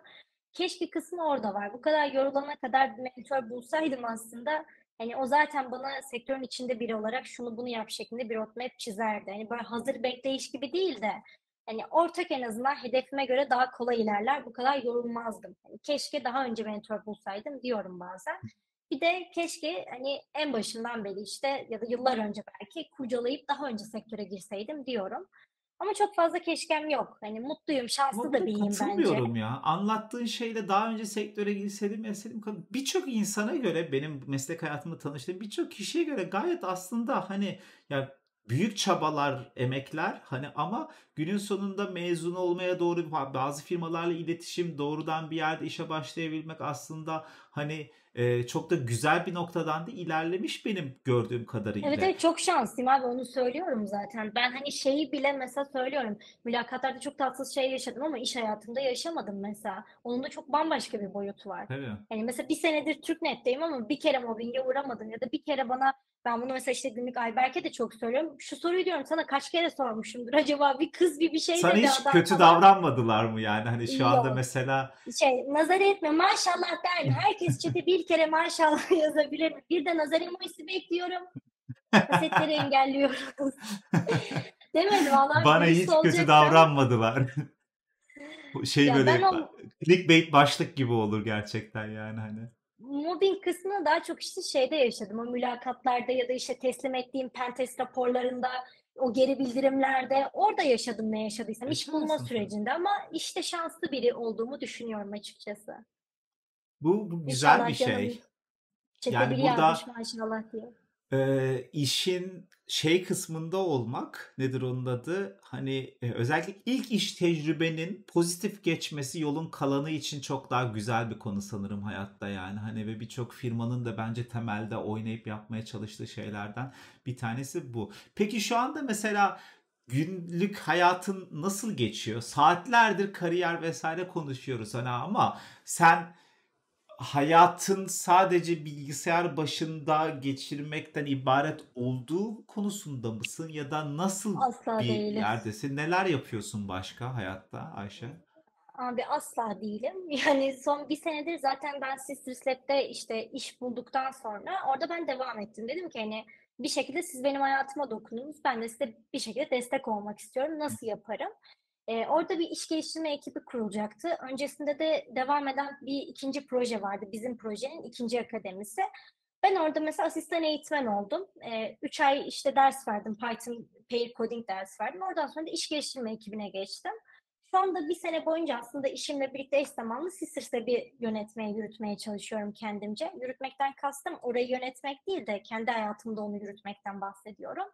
İşte iş geliştirme ekibinde neler yapıyoruz? Aynı e, benim sürecimi kolaylaştırdıkları, kolaylaştırdıkları gibi farklı öğrencilerin de kolaylaştırmaya çalışıyorlar.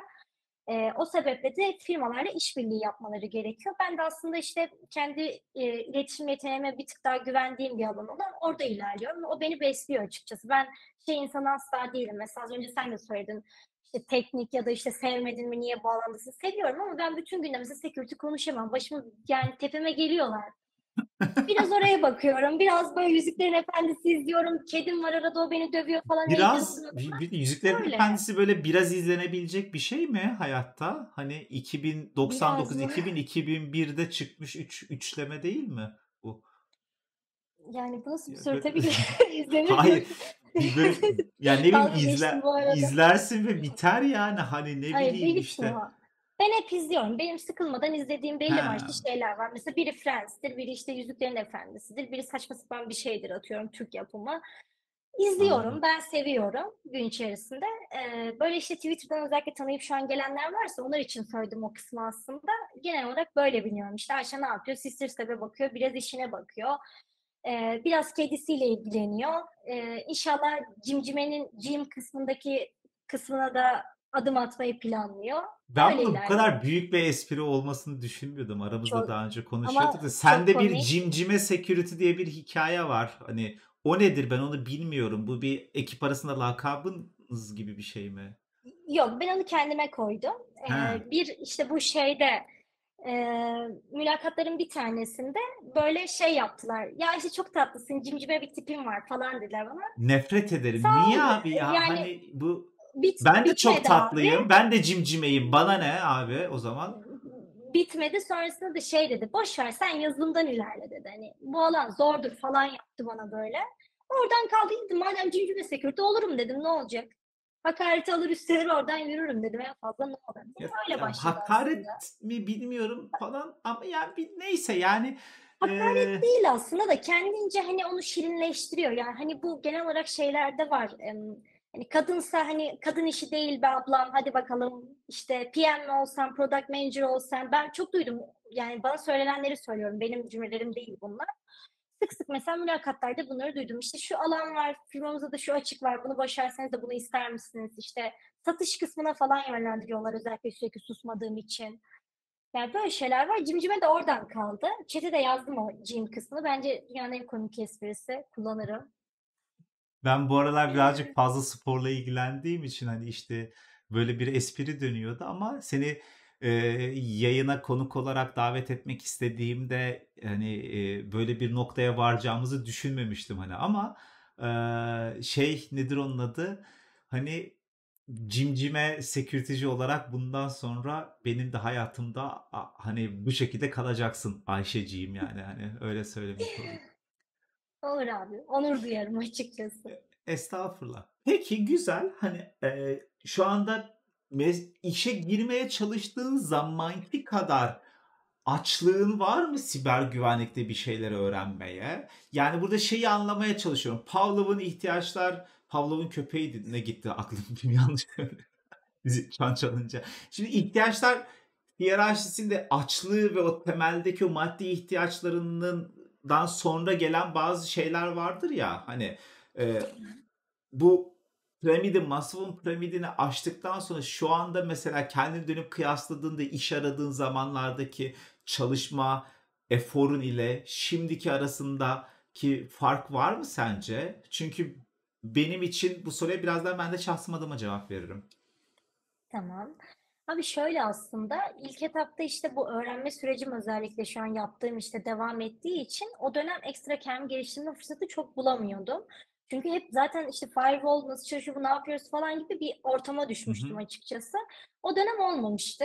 E, bu yaklaşık bir 4 ay falan 4-5 ay belki sürmüştür. E, ama şu an e, ve o 4-5 aydan sonra ve şu an e, o açlık hissi geri geldi açıkçası. Yine öğreneyim.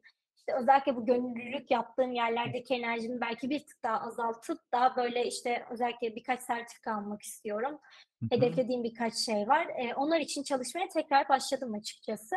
E, böyle dönem dönem gidiyor ama e, o burnout durumunda da kendimi bir şekilde tekrar motive etmeyi başarıyorum diyebilirim.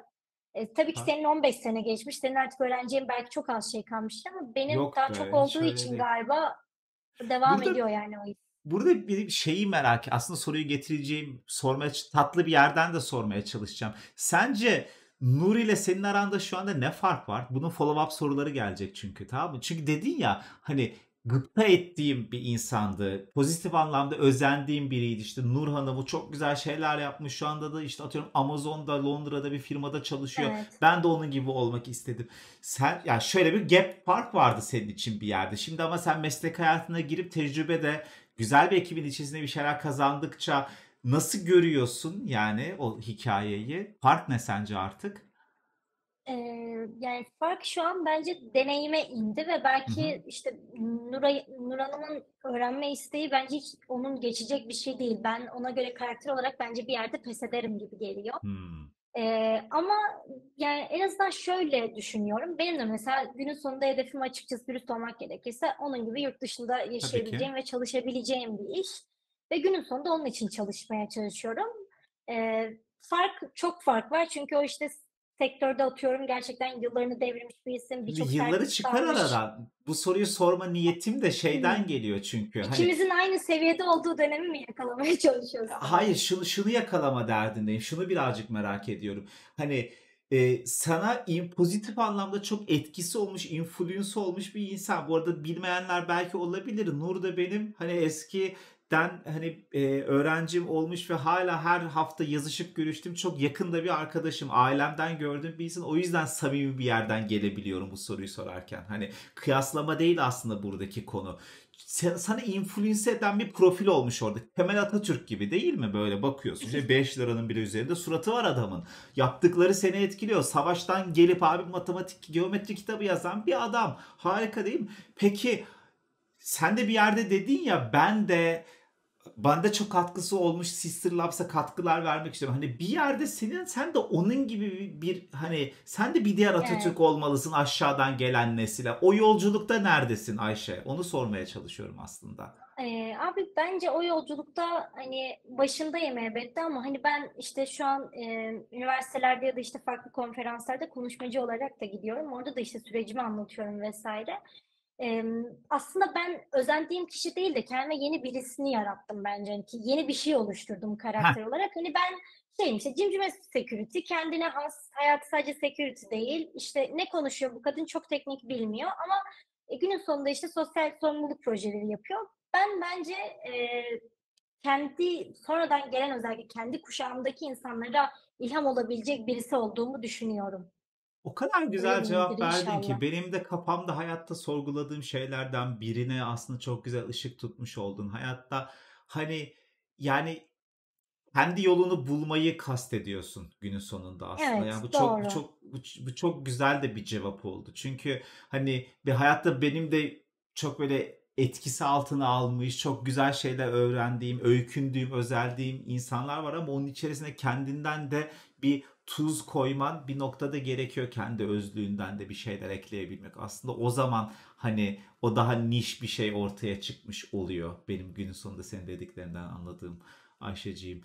Peki bu böyle çok uçsam bir oraya götürüyorum bir buraya getiriyorum gibi muhabbet hani ama mesela hani orta dünyadaki karakterler tamam mı? Siber güvenlik te bir güvenlik zafiyeti tipi olsaydı sence hangi karakter hangi güvenlik zafiyeti olurdu? Madem bu kadar Lord of the Rings'e bu kadar meraklısın. Ay, mesela ben yani ben mesela şöyle söyleyeyim sana hani benim için Gimli ile cross-site scripting çok yakın şeyler hayatta ama hani madem Nasıl or- abi Gimli'yi peki oraya?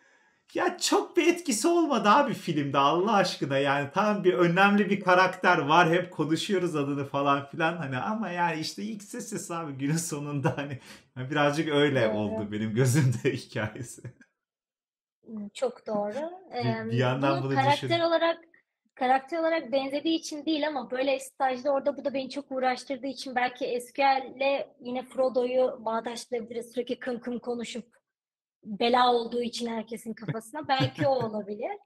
Bu arada hazır buradayken bir reklam yapayım.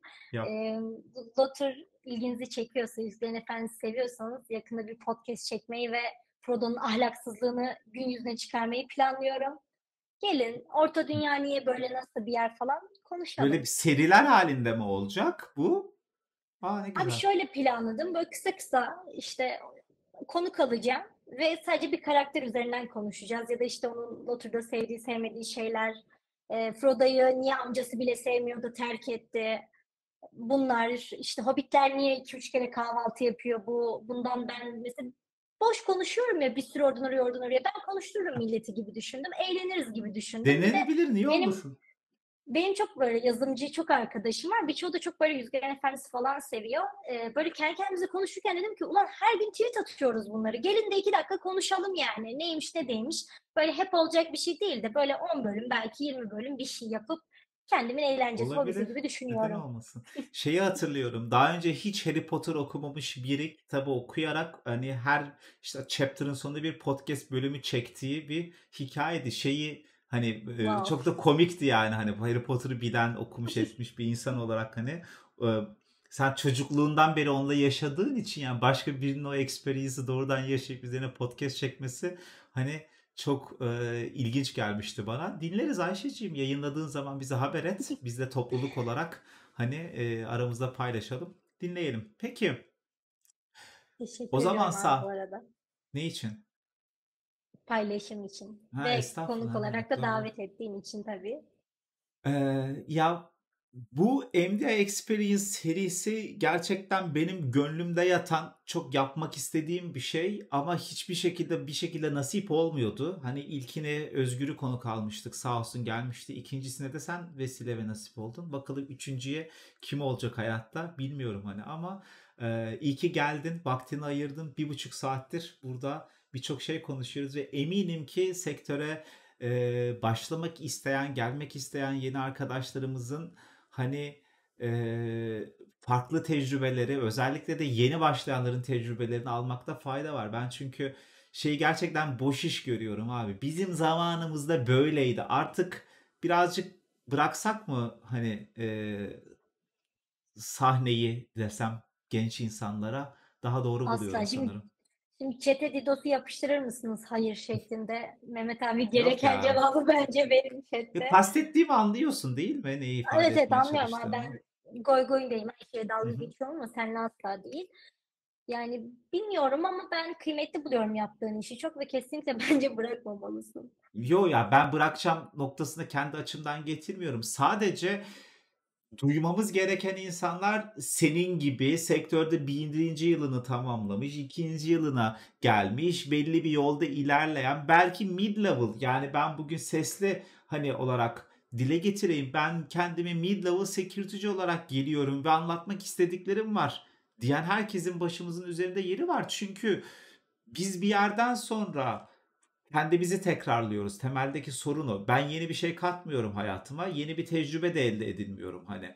Ee, o yüzden senin gelmen benim için çok kıymetliydi. Çünkü belki de daha önceki ezber bozan şeylerden biri söylendi. Abi teknik bilgi zaten başka bir nokta ama sana çok net yol gösterecek mentörlere birazcık zaman ve kıymet mi verseniz diyorsun özetle. Yani hani bu aslında bizim gibi 2000'li yıllarda başlamış kişilerden çok daha farklı bir söylem siber güvenlik alanında açıkça söylemek gerekirse. Onur duydum gerçekten. Wow. o yüzden dediğin gibi bakalım eee, daha böyle sektördeki tecrübeleri daha taze olan arkadaşlarımızı eee, konuk etmeyi hevesle bekliyorum bakalım yani. Hani durumlar böyle Şaka bir yana bir şey ama zaten hani ben de gelebildim ama sen olduğun için gelebildim ya günün sonunda. O yüzden hani iyi ki o 2000'li yıllarda başlamışsın bir şeylere de hani biz de burada işte korkmadan ne bileyim ben mesela çok rahat geldim başka yere. Bir, ama tabii Ya şey oldu. zaten Mehmet senin İnce kendini rahatlatabilmem için canım çıktı benim. Yani Evet. hani bu yayın Ama tarihinden aydır 10 gündür Evet, bir aydır Mehmet İnce de insandır ve çöp atarı düşünmem gerekti. Ama çünkü abi kolay bir şey mi? Bir noktada ben senin yayınlarını izleyerek sektörü ucundan yakalamaya çalışıyorum. Şimdi seninle bir şekilde karşı karşıyayız. Çok kıymetli benim için. kırmaya çalıştığımız şey de bu ki zaten bunu herkes anlıyor bence bir noktada da. Yani abi yapamıyoruz hiçbir şeyi yapamıyoruz biz yapamıyorum ben yani. Hani anlatabildim mi? Olmuyor abi olmuyor. Her gün kalkıyorum sövüyorum olmuyor yani hani. Anlatabildim mi? Ayşe'nin de hayatında bir şeyler olmuyor Fatma'nın da olmuyor Evet. işte Hüseyin'in de olmuyor. Olmuyor yani baba. Hani eee, bu kanalda özellikle hani işte senin de bu birazcık hani e, şimdi ne olursa olsun sonuçta sadece bu yayını şu anda canlı izleyen 200 kişi vardır tamam mı? Daha tüm bu 1000 kişi gelecek. Ben bazen böyle gözümü kapatıyorum yayınlarda. Hani Ayşe diyorum ki 1000 kişi ya hayal etsene deniz gibi insan abi tamam mı böyle çok fazla aslında bakarsan ve bu bir noktada stres yaratabiliyor. O yüzden de onu kırmak için bir haftadır seninle lakayt lakayt muhabbet ediyorum ki hani Evet. daha samimi bir ortam olduğunu hisset ve bunu üzerinden atabilelim diye. Ee, umarım e, senin açından da güzel bir tecrübe Çok çok olmuştur. keyifliydi abi. Ee, eğer konuk olacaksanız, kendinize güvenmiyorsanız, heyecanlanacağınızı düşünüyorsanız Mehmet abi mutlaka size düğünde gerdan kırdığı videolardan atar. Merak etmeyin, sakinleşeceksiniz. Mehmet İnce de bir insandır. Çöp atıyor. Bunu unutmayın. Evet, ben de bazen insanımdır, çöp atıyorum arkadaşlar. Her şey ilginç, insanları kendini motive etme yöntemleri çok ilginç yani hani hani yani e, bu arada evet bugün çöp atma günü Ayşe. Bugün çöpleri çıkartmayı Evet abi unutma ben sana yazacağım mutlaka. Bir de garip yani. Bütün gün hacking sonra da physical hacking milleti yumrukluyorsun. Kolay iş değil. Allah yardımcın ya, ya olsun. abi çok bakalım yani şimdi işte Ağustos'un 20 kaçı bugün 21 Ağustos Eylül Ekim işte Ekim'in sonunda Oktober evet Oktober'ın sonunda maç var bakalım da iyileşebilirsem zor ya sürekli affedersin yani hani bir Tamam. Anladık biz. of of üzüldüm yani kendime gerçekten bugün de işte bugün yayından önce uyuduğum muhabbeti oradan da geliyor yani biraz uyuyayım da enerji toplayayım bari dedim en azından yayında ayakta kalabiliriz. Çok iyi yapmışsın abi. Bu arada sen her şeyi sordun da sen ne diyormuşsun ki bitti de ben sana hiçbir şey sormayacağım. Benim de aklımda birkaç bir şey var. E, sorabilirsin saatlerdir zaten muhabbet. Göndereyim gel. Göndereyim gel. Peki benim Tamam. durup durup hiç utanmayıp koca Mehmet İnce'ye Koca. şeyler demem. Ama öyledir. Neyse. Aha. Bunu, Sor bakalım bunu kızım. geçiyorum.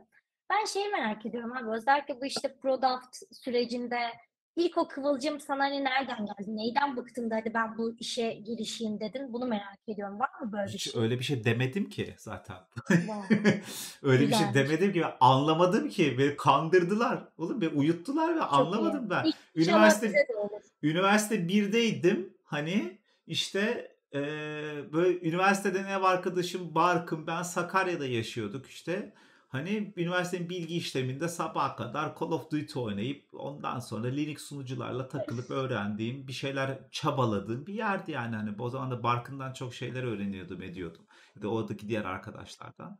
Hani ee, ondan sonra dedim ki ya bu böyle olmayacak İstanbul'a gideceğim. Ben bir firmada işe başladım. Sonra da hatta Barkın da geldi yanıma. 3-4 ay falan sonra baktım ki bu böyle olmuyor. Ben geçinemiyorum. Yani bırak geçinmeyi hani bir eksi ikide bir yerde bir şey yaşıyorum hayatımda ama okul da var bir yandan. Okul Sakarya'da ben İstanbul'dayım bu böyle olmaz deyip çok değişik bir depresyon içerisinde bulunup işten falan çıktım. Ben dedim ki şey evime kapanacağım.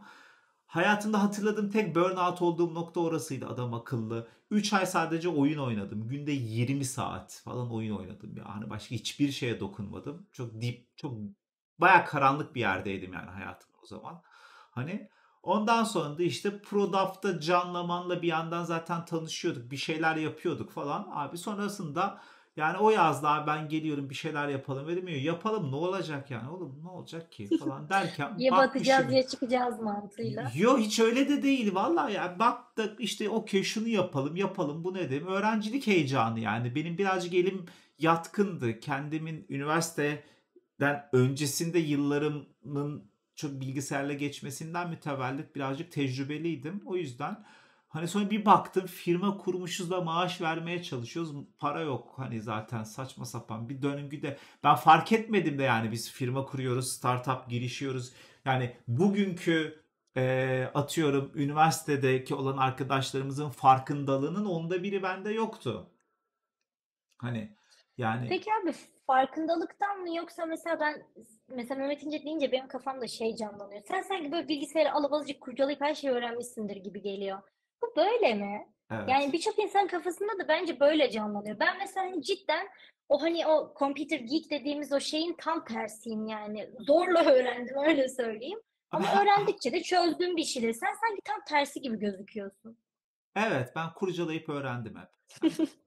Hani yani e, bu şey demek değil. Bu daha kıymetli demek değil. Bu bir yanlış Tabii ki algıdır öğrenme yöntemleri Hani değişiyor bence zaten. Yani e, herkes her şeyin dibine kadar öğrenmek zorunda da değil hayatta. Yani bu da hani e, bence benim zamanındaki fikirlerimin çok değiştiği şeylerden biridir bu Ayşe. Ben üniversitedeyken bilgisayarla alakalı bilgisayarın nasıl çalıştığını dahi bilmiyor bu aptallar falan gibi bir hissiyatın içindeydim. Ve bunu ama dolmuştaki herkes için düşünüyordum. Evdeki alem için de düşünüyordum. Anlamıyorsunuz yani salaksınız galiba. O sırada o aptal.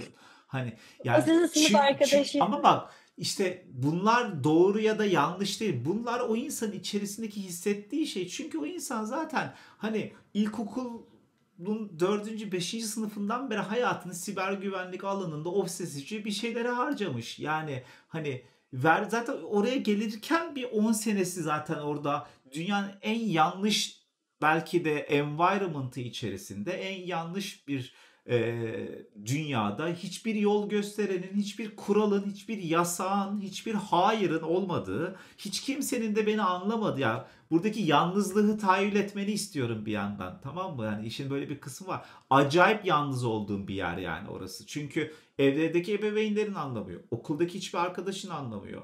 Kız arkadaşların anlamıyor. Basketbol takımındaki arkadaşların anlamıyor. Hani hiç kimse senin o dünyanı anlamıyor abi. Orada sen yalnız ya o çok yalnız hissettiğim şeylerden biriydi ama o yalnızlığın içerisinde Crazy Girl 72 ile sabaha kadar bir şeyleri yapmaya çabalardık ve aptal aptal hareketler ne oldu ne der bugün hiçbir şekilde anlayamazdık. Hani ama hani oradaki öğrendi ya öyle bir kültürden geldiğin zaman işin içerisinde ve insanlarda hayatında CD'nin üzerinde verinin nasıl durduğunu sorgulamamış ama herkese CD kullanıyor. Nasıl olabilir bu diye çok toksik bir yerden bakıyordum aslında hayata. Ama sonrasında hayata biraz karıştıkça hani insanlarla interactionlarım mesleki anlamda interactionlarım arttıkça gördüm ki hani abi herkes böyle bilgisayar nerd olmak zorunda değil. Bu doğru bu değil yani. Hani bu doğrusu bu daha iyidir diye bir şey değil mesela. Hani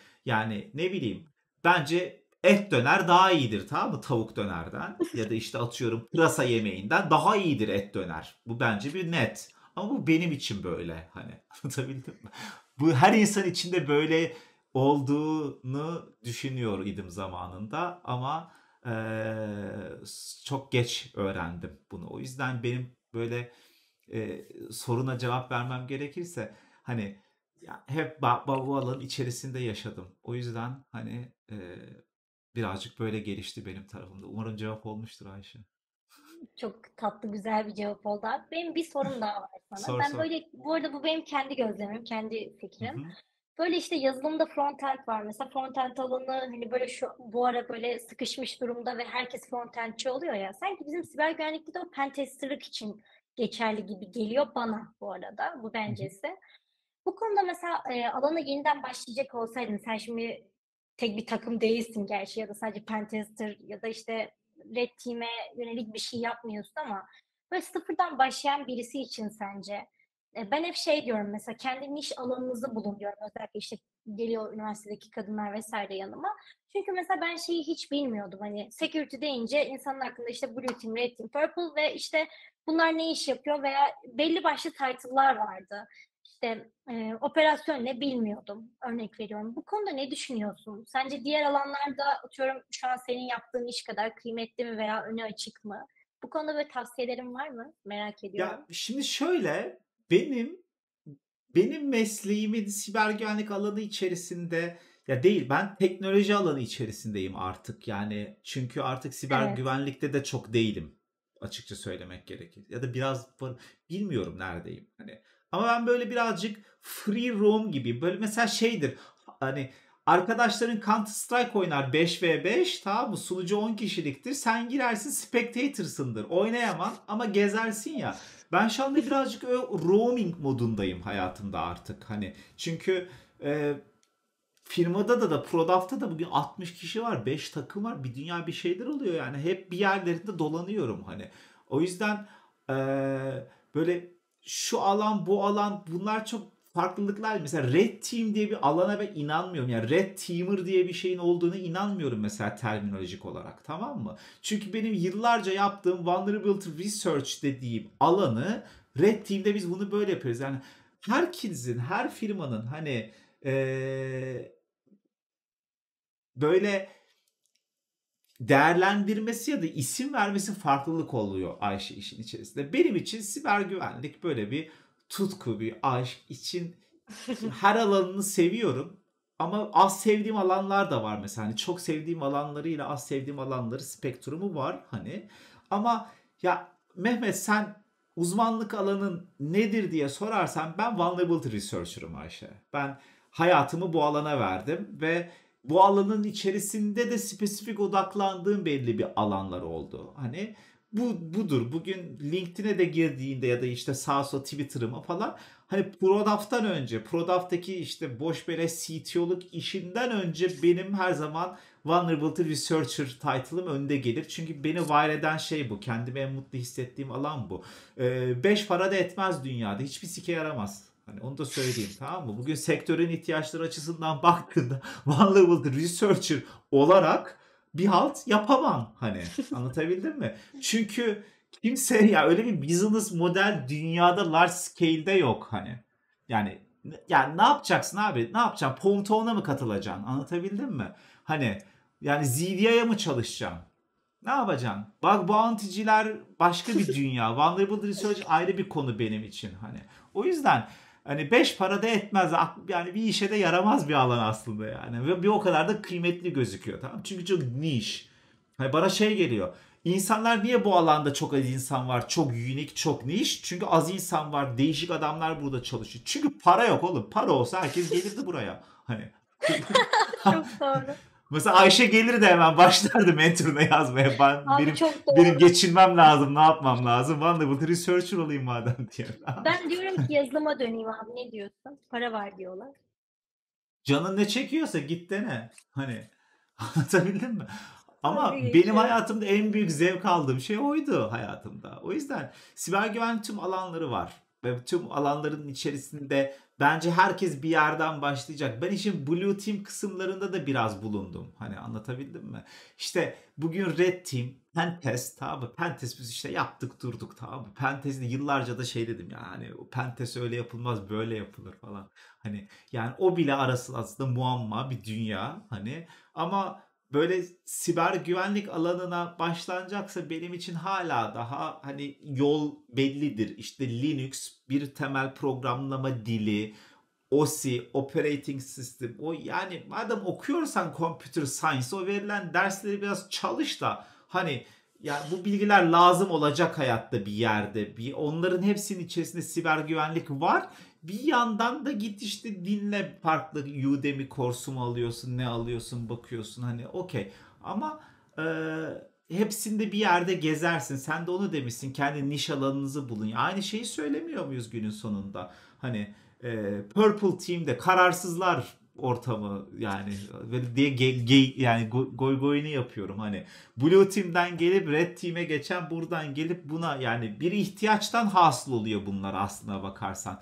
Purple Team'in de temelde ihtiyacın hasıl olduğu bir nokta onlarca para yatırıyor siber güvenliğe tool'lara konfigüre etmeyi unutuyor. Adamlar içimizden tırnak içinde geçmeye devam ediyorlar. E nasıl olacak? Buradan ihtiyaçtan ortaya çıkıyor. Vulnerable Research'in siber güvenliğin beyaz tarafında bir ihtiyaç olarak ortaya çıktığı bir yer çok yok henüz yani. Biz kendi aramızda takılıyoruz burada. Bir de gurur yapıyoruz. Bulduğumuz güvenlik açıklıklarını satmayacağız. İnterneti daha güvenli bir hale getireceğiz. Hani değişik. Çok iyi. Çok iyi. Net Evet, cevap e, verdiğimi düşünüyorum Ayşeciğim. Buradakileri Pink Team kuracağım arkadaşlar. Bekliyorum. Ee, bana yazın. Varır ona da veririz. Vulnerability Research'ler, Bug Bounty de o değil ama burada bu değil. Nessus hiç yok ama bu var. O. Nedir? İşte şu. Yani denir adı verilir. niye Pink Team, olmasın? işte Pink Team. Nerede olacağınızı bilmiyorsanız, karar veremiyorsanız, biraz da yeteneksizseniz gelin. Pink Team'i kuralım, ilerleyelim. İyi oldu bana da reklamını Evet. yaptım vallahi mis. Bakalım. Peki chat Ayşe'nin Twitter hesabını bir chat'e yığın bakalım. Ee, bilmeyen arkadaşlarımız oradan takip etsinler. Onun haricinde sorularına cevap verebildim mi Ayşeciğim? Varsa başka Oldukça sorun sor. verdin abi. So- Son küçücük bir tane var. Sor bakalım. Şimdi ben az önce Sonra de söyledim ya kapanışı. Mehmet İnce deyince işte geek biri var benim kafamda her şeyi çözüyor Evet. adam falan işte yayına bağlanacağız bir saat mikrofonla dövüştüm falan bir şey buldum.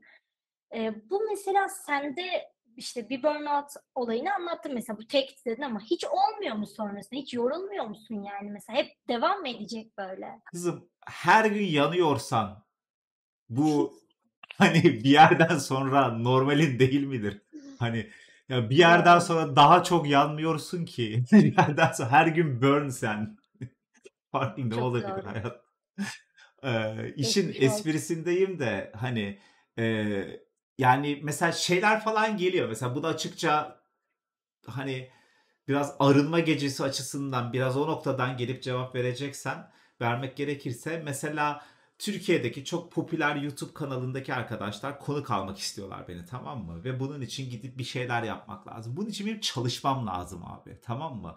Neden çalışmam lazım? Atıyorum işte X, Y, Z hackerları neyi nasıl yaptı? Bunu anlatabilmek için de gidip o senaryoları, case'leri, o hikayeleri çalışman lazım. Bugün oturduğum yerden bir tarafımı yayarak atıyorum APT 38 grubu hakkında konuşabilecek bilgi birikimim yok benim mesela. Çünkü üzerinde çalıştığım alan değil. Çünkü neden? Bunu yapan, bunu benden 100 kat daha iyi bilen ve yapan insanların olduğu bir firmadayım ben. Hani ama öyle bir talep var. Şimdi burada şu yani onu oturup çalışacak cesareti gösteremiyorum ben şu anda hayatımda tamam mı? Hani ya neden gösteremiyorum? Sıfırdan bir şeyler öğreneceğim. Ya abi ben sıfırdan bir şeyler öğreneceksem en azından sevdiğim ve hiçbir halta yaramayan vulnerable research alanında bir şeyler öğreneyim de seveyim. Yani fark ettiysen sevdiğim şeye, kendimi elimi daha alışkın hissettiğim bir şeylere koşmak istiyorum. Bilmem ne APT gruplarını takip edip onun detayında aslında o buymuş bu buymuş abi.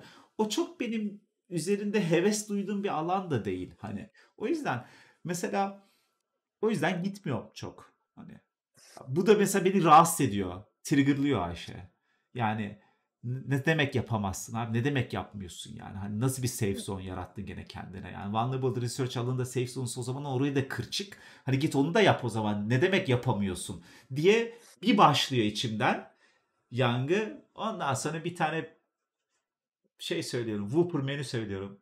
Burger King'den. Afiyetler olsun.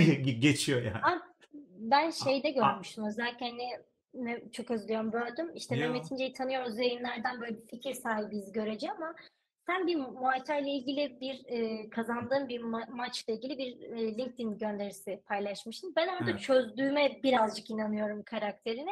Senin için bir şeyler hep tutku mesela. Ben de o hiç yok. İşte az önce sen de bahsettin hani var ama senin kadar yok. İşte mesela senin gibi böyle gözlemlediğin birkaç kişi var. Siz sanki bunun için yaşıyorsunuz. İşte az önce söyledin ya e, niye yapmıyorsun? Kendime kızıyorum, itiyorum. Mesela Muay Thai'ye başladın. Onu da mesela o şekilde yapıyorsun. Senin Evet. bence işi yapış şeklin bu.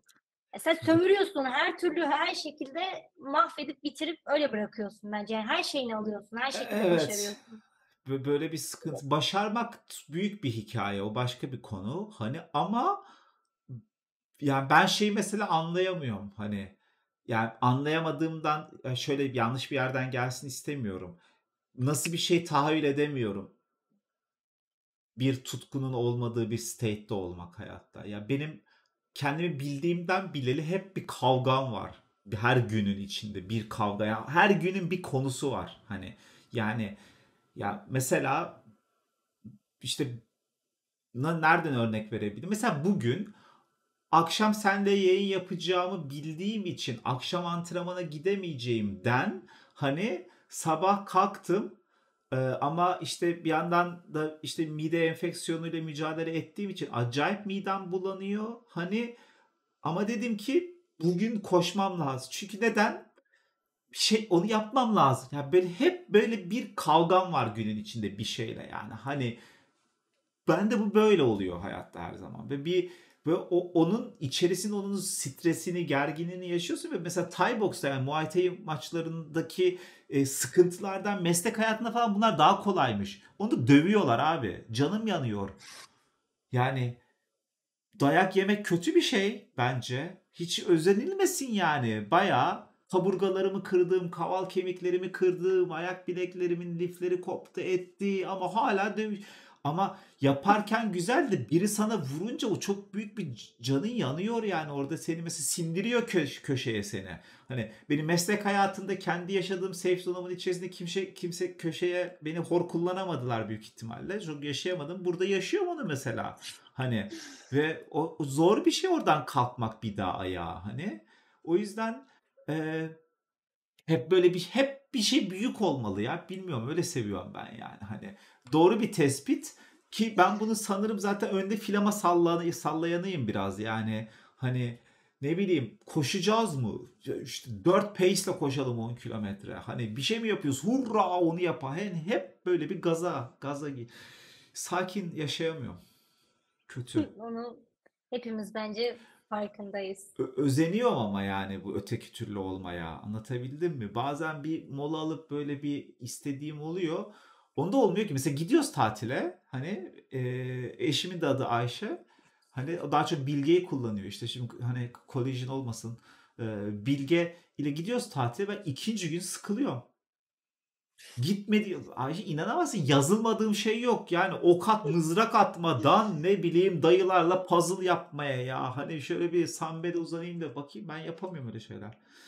O yüzden Avcı toplayıcı üzgünüm. dönemde olsak hepimizi okla vururdun abi muhtemelen. Gerçekten o enerji, o gücü sende gördüm. Ya bilmem ben birazcık öyle içten yanmalı motorum. Yani sende falan şey olmuyor mu? Kendi kendine konuşup gaza Olmuyor. gelmiyor musun? Aa, oluyor da şey. senin kadar değil yani. Senin kadar o hırs bende yok. Ben sakinim derken birçok insan da da değil bence.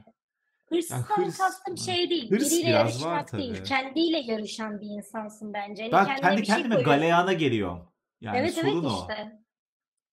Ya mesela akşam mesela kafamı yastığa koyuyorum. Kendi kendime bir gaza geliyorum. Sabah saat 5 oluyor mesela. Tamam mı? 50 tane şey düşünmüşüm etmişim yani. Hani Sıkıntı. Overthink. Sıkıntı yani. Ama Doğru. dediğim gibi herkes ya kimse ben mal bu. Tamam ben seçmedim. Hani Bence yani güzel bir şey abi yani. Bir noktada yorucudur tahmin, öyle tahmin ediyorum. Ama bir noktada da bir şeyleri bence hani başarabilmenin sırrı da biraz senin bu ya başarı ne ki Ayşe? sen Şimdi yapan bu. başarı ne abi? Hani şimdi birazcık Göreceli boş yani. şeyler bunlar bence. Ya başarı Evet. yani nedir senin için başarı kendini mesela?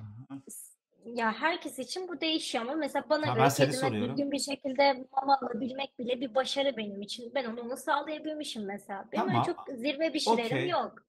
Bunu sağladın. başarıdan Başka kastım şu. Mesela işte Mehmet İnce neden başarılı? Şöyle işte meslekte bilinen ve işini düzgün yapan birisi olmak bence hani dışarıdan seni görenler için bir başarı.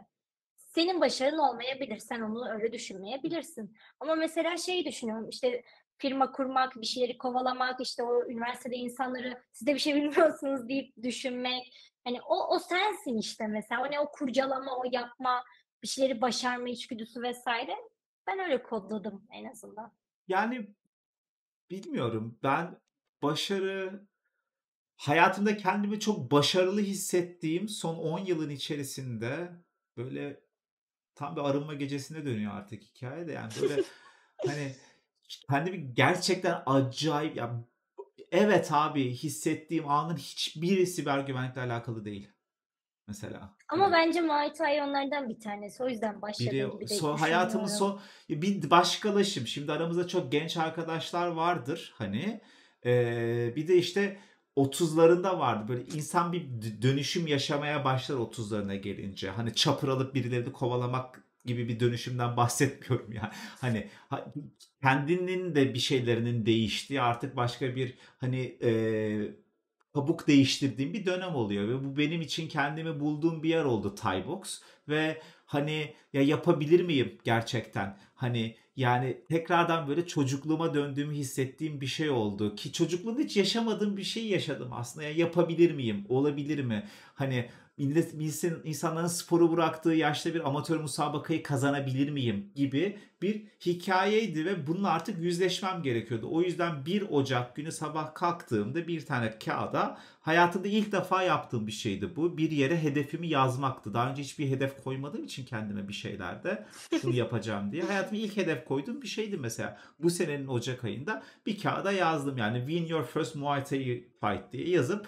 e, şu gördüğün şuna bantla astım hayatımda ve dedim ki her sabah buna bakacağım mesela. Hani onu yaşamak harika bir tecrübe oldu benim için ve hani işte eee, bir tane de anısı var fotoğrafı böyle maçtan sonra arkadaşlarım beni havaya kaldırdı. Etti ya hadi abi survive etti bu geçti bu oldu. Mesela en çok kendimle gurur duyduğum anlardan biri odur hayatımda. Çok da yeni bir şey mesela. Hani 32 yaşında bu cümleyi kuruyorum mesela. Bu ilginç hani benim için.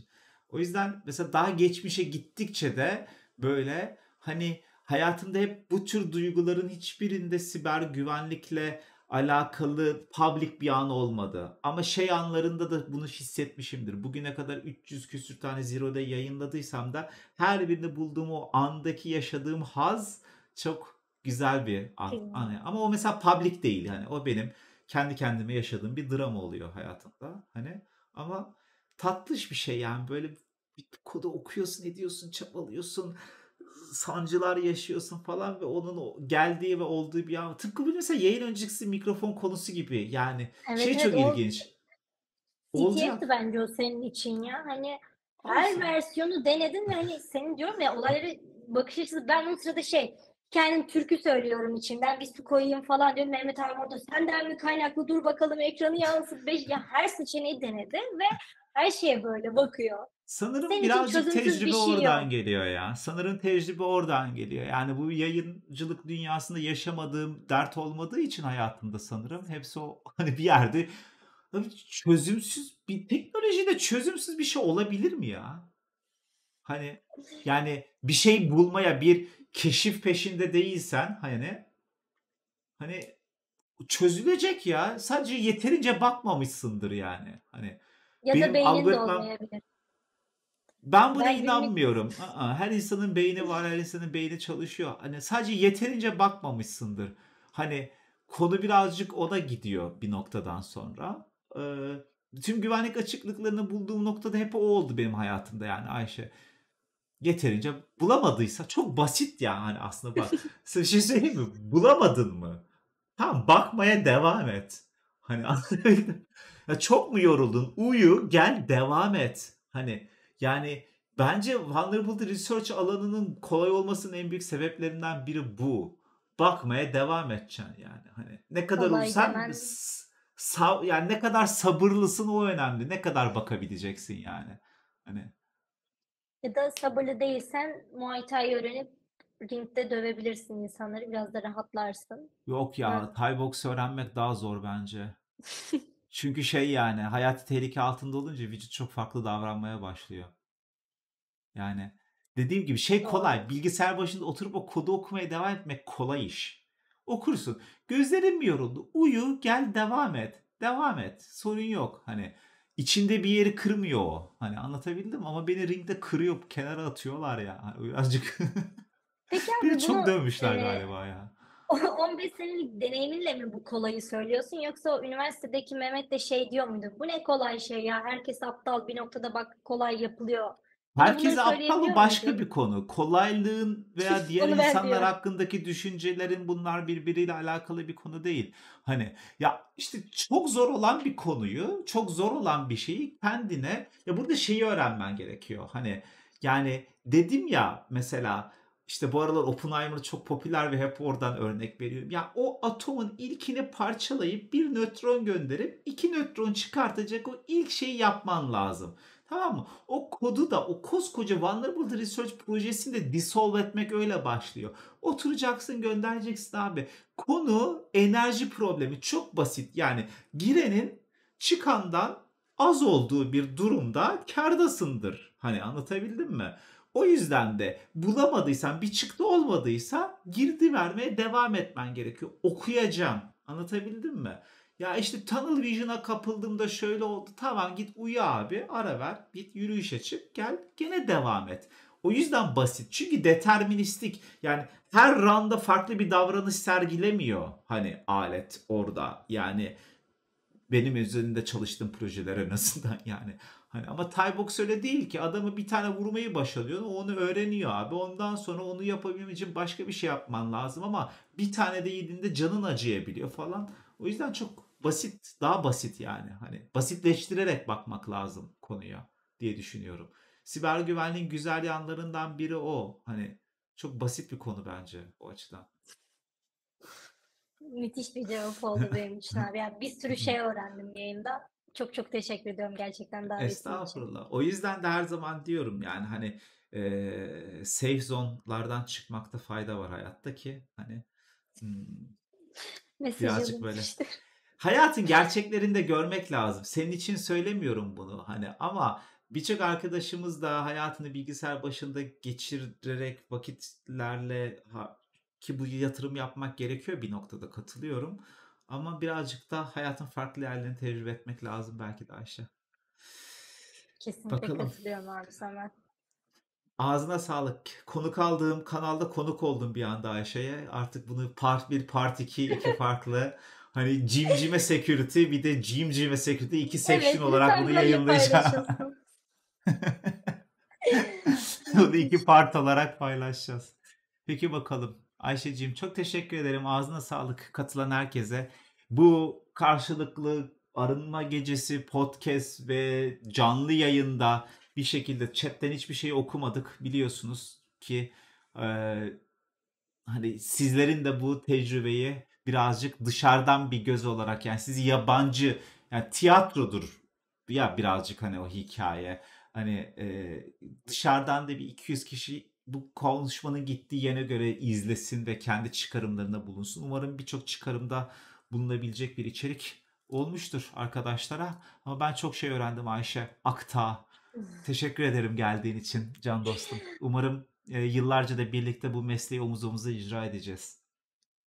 Umarım abi. Ben çok teşekkür ediyorum. Benim için çok kıymetliydi ve senin nasıl challenge'ların varsa ben de açıkçası bugün burada kendimin bir challenge'ını yaşamış oldum.